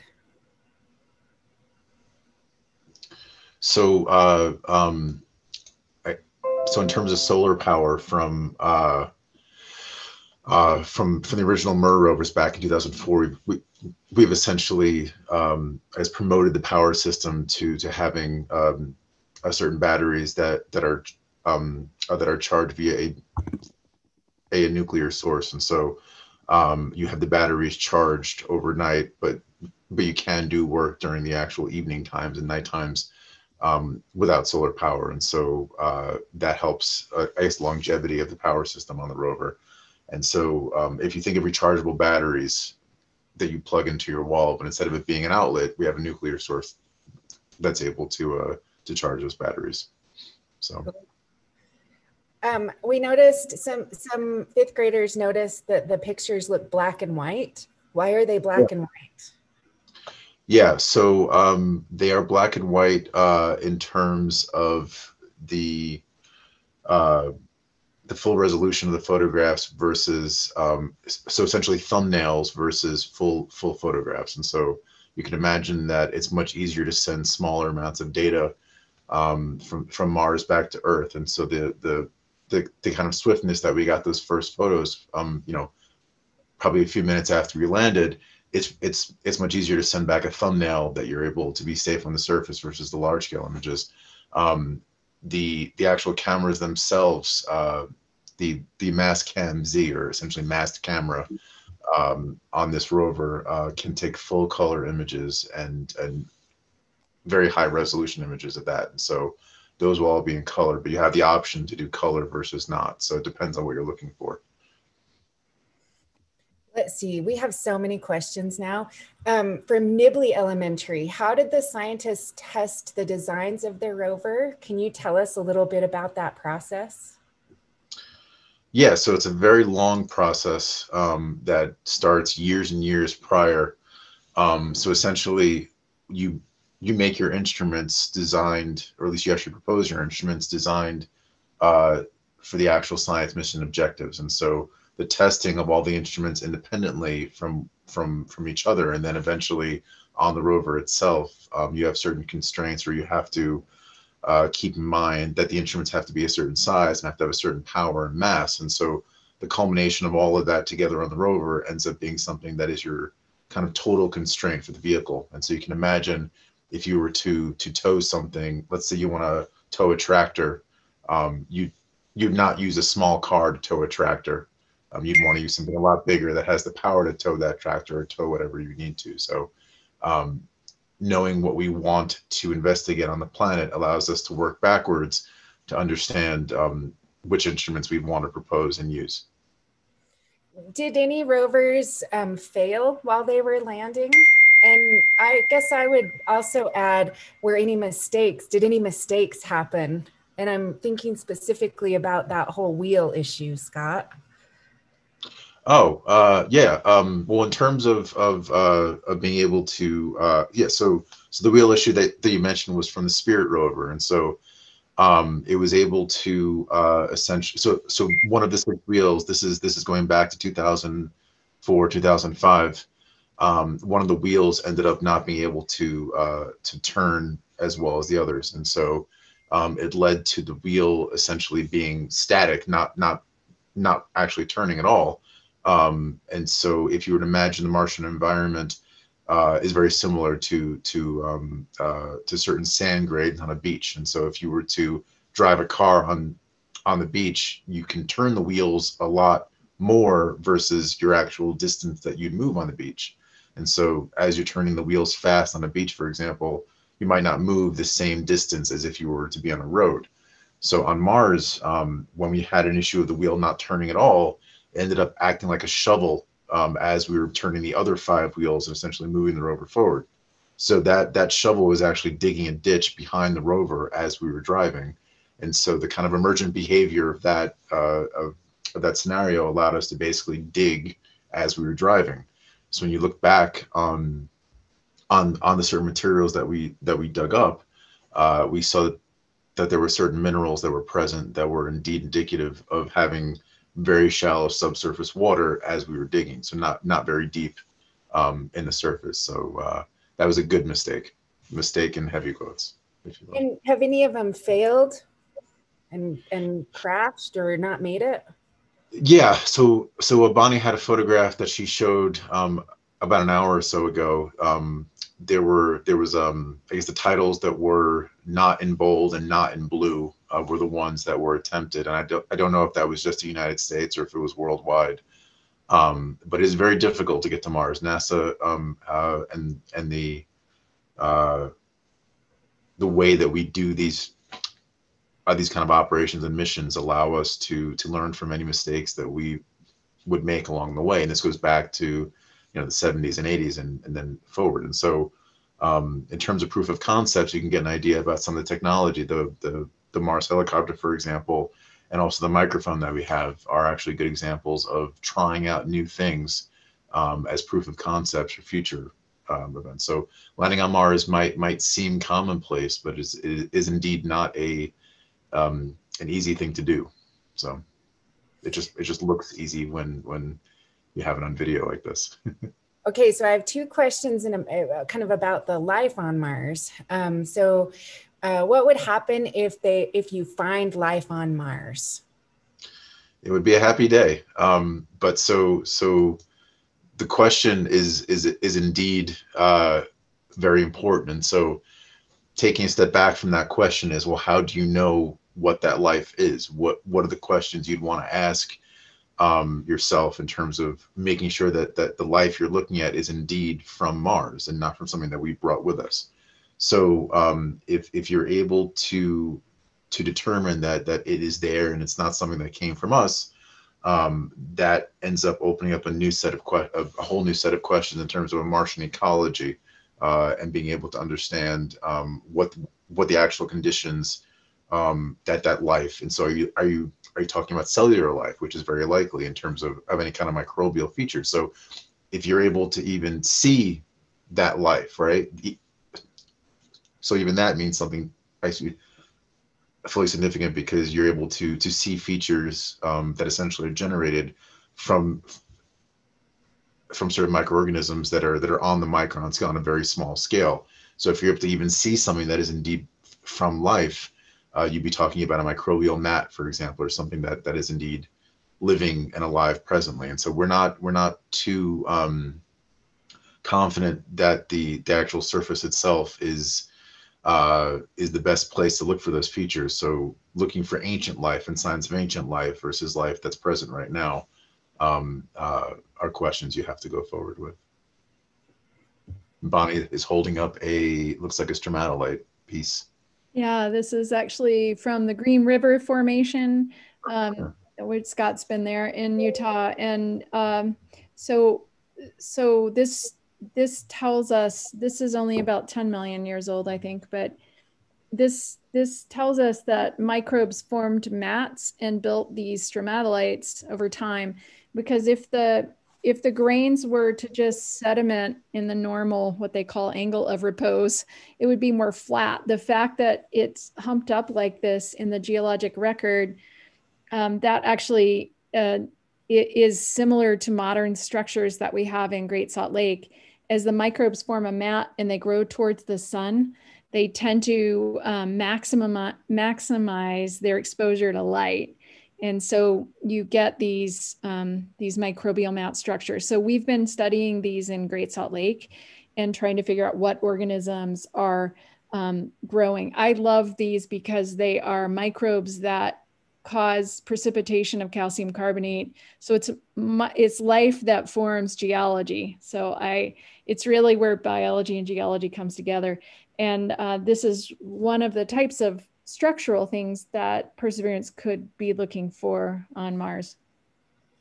And just as a reminder, we still have 65 people that are online with us in case you came later. Um, I'm Jamie. I um, work at Westminster College with Dr. Bonnie Baxter, who was just talking, and we um, run Great Salt Lake Institute. We have Dr. Scott Perl. He's from NASA's Jet Propulsion Laboratory and has worked on um, every Mars rover, um, right, Mar- right, Scott? Every Mars rover that you've been involved with, and uh, yeah. And then we have um, Professor John Armstrong. He is at the Ott Planetarium at Weber State University and teaches at Weber State. Um, we have um, a lot of um, John's students who uh, work at the Ott Planetarium also, and they have been so awesome to be answering questions. I feel so lucky to be here.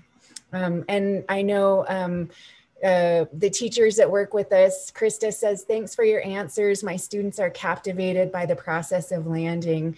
Um, can you talk about the process and figuring out how to land the Mars rover?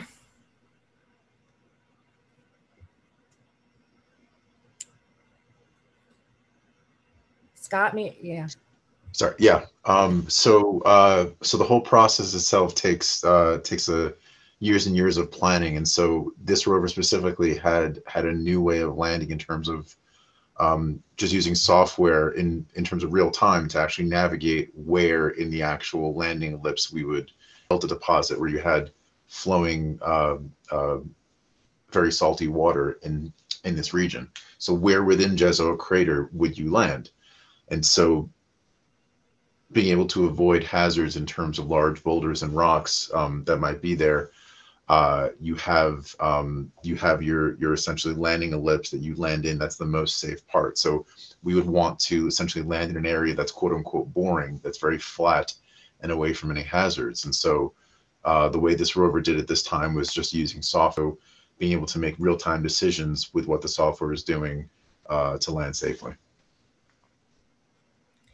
why do why oh well i've got one about um, where did nasa get the idea that aliens were living on mars? So not aliens per se. So so so the difference is between quote unquote aliens that, that algae and the features that are forming on, on the very surface of the actual lake itself or pond or, or whatever it is. Um, the the very small kind of microscopic organisms that are that are in in these features you're the the effect that you're seeing it um, uh, with your eyes, you're able to get an idea of of, of the uh, large scale structures that that life would actually form over time. So, taking a step back from that, life of what if we find this? What if we find this? Those are great, but when it comes down to biology, um, taking taking several steps back from that and then thinking about how long it took to form those features. And so one of the things on Mars that we're actually looking at um, in terms of ancient biosignatures, these are signatures that that that it would have taken significant amount of time for life to actually proceed and create. And so the preservation of those signatures is something that uh, um, we're looking at within specific minerals and rocks that have had access to water. Cool. Does anybody else have questions? I know Dr. Baxter has to leave pretty quick and um, I'm nothing else. So since Mars lost those very special conditions that we think of being important in life really taking off on Earth, um, I like to say we don't think we're going to find giraffes on Mars because complicated life, um, as we understood stand it, took a long time to evolve from that really simple bacterial type life. So um, I think what we're looking for on Mars is in that microbial realm, as as Scott was talking about, and that's why like there's some intelligence that went into thinking about if life could be there, what would it be like, um, and and so in part it has to do with that timeline. Okay, I have I have um, one two uh, one more question. What is Mars average temperature compared to Earth, and does the temperature does the temperature change? Can humans survive in it?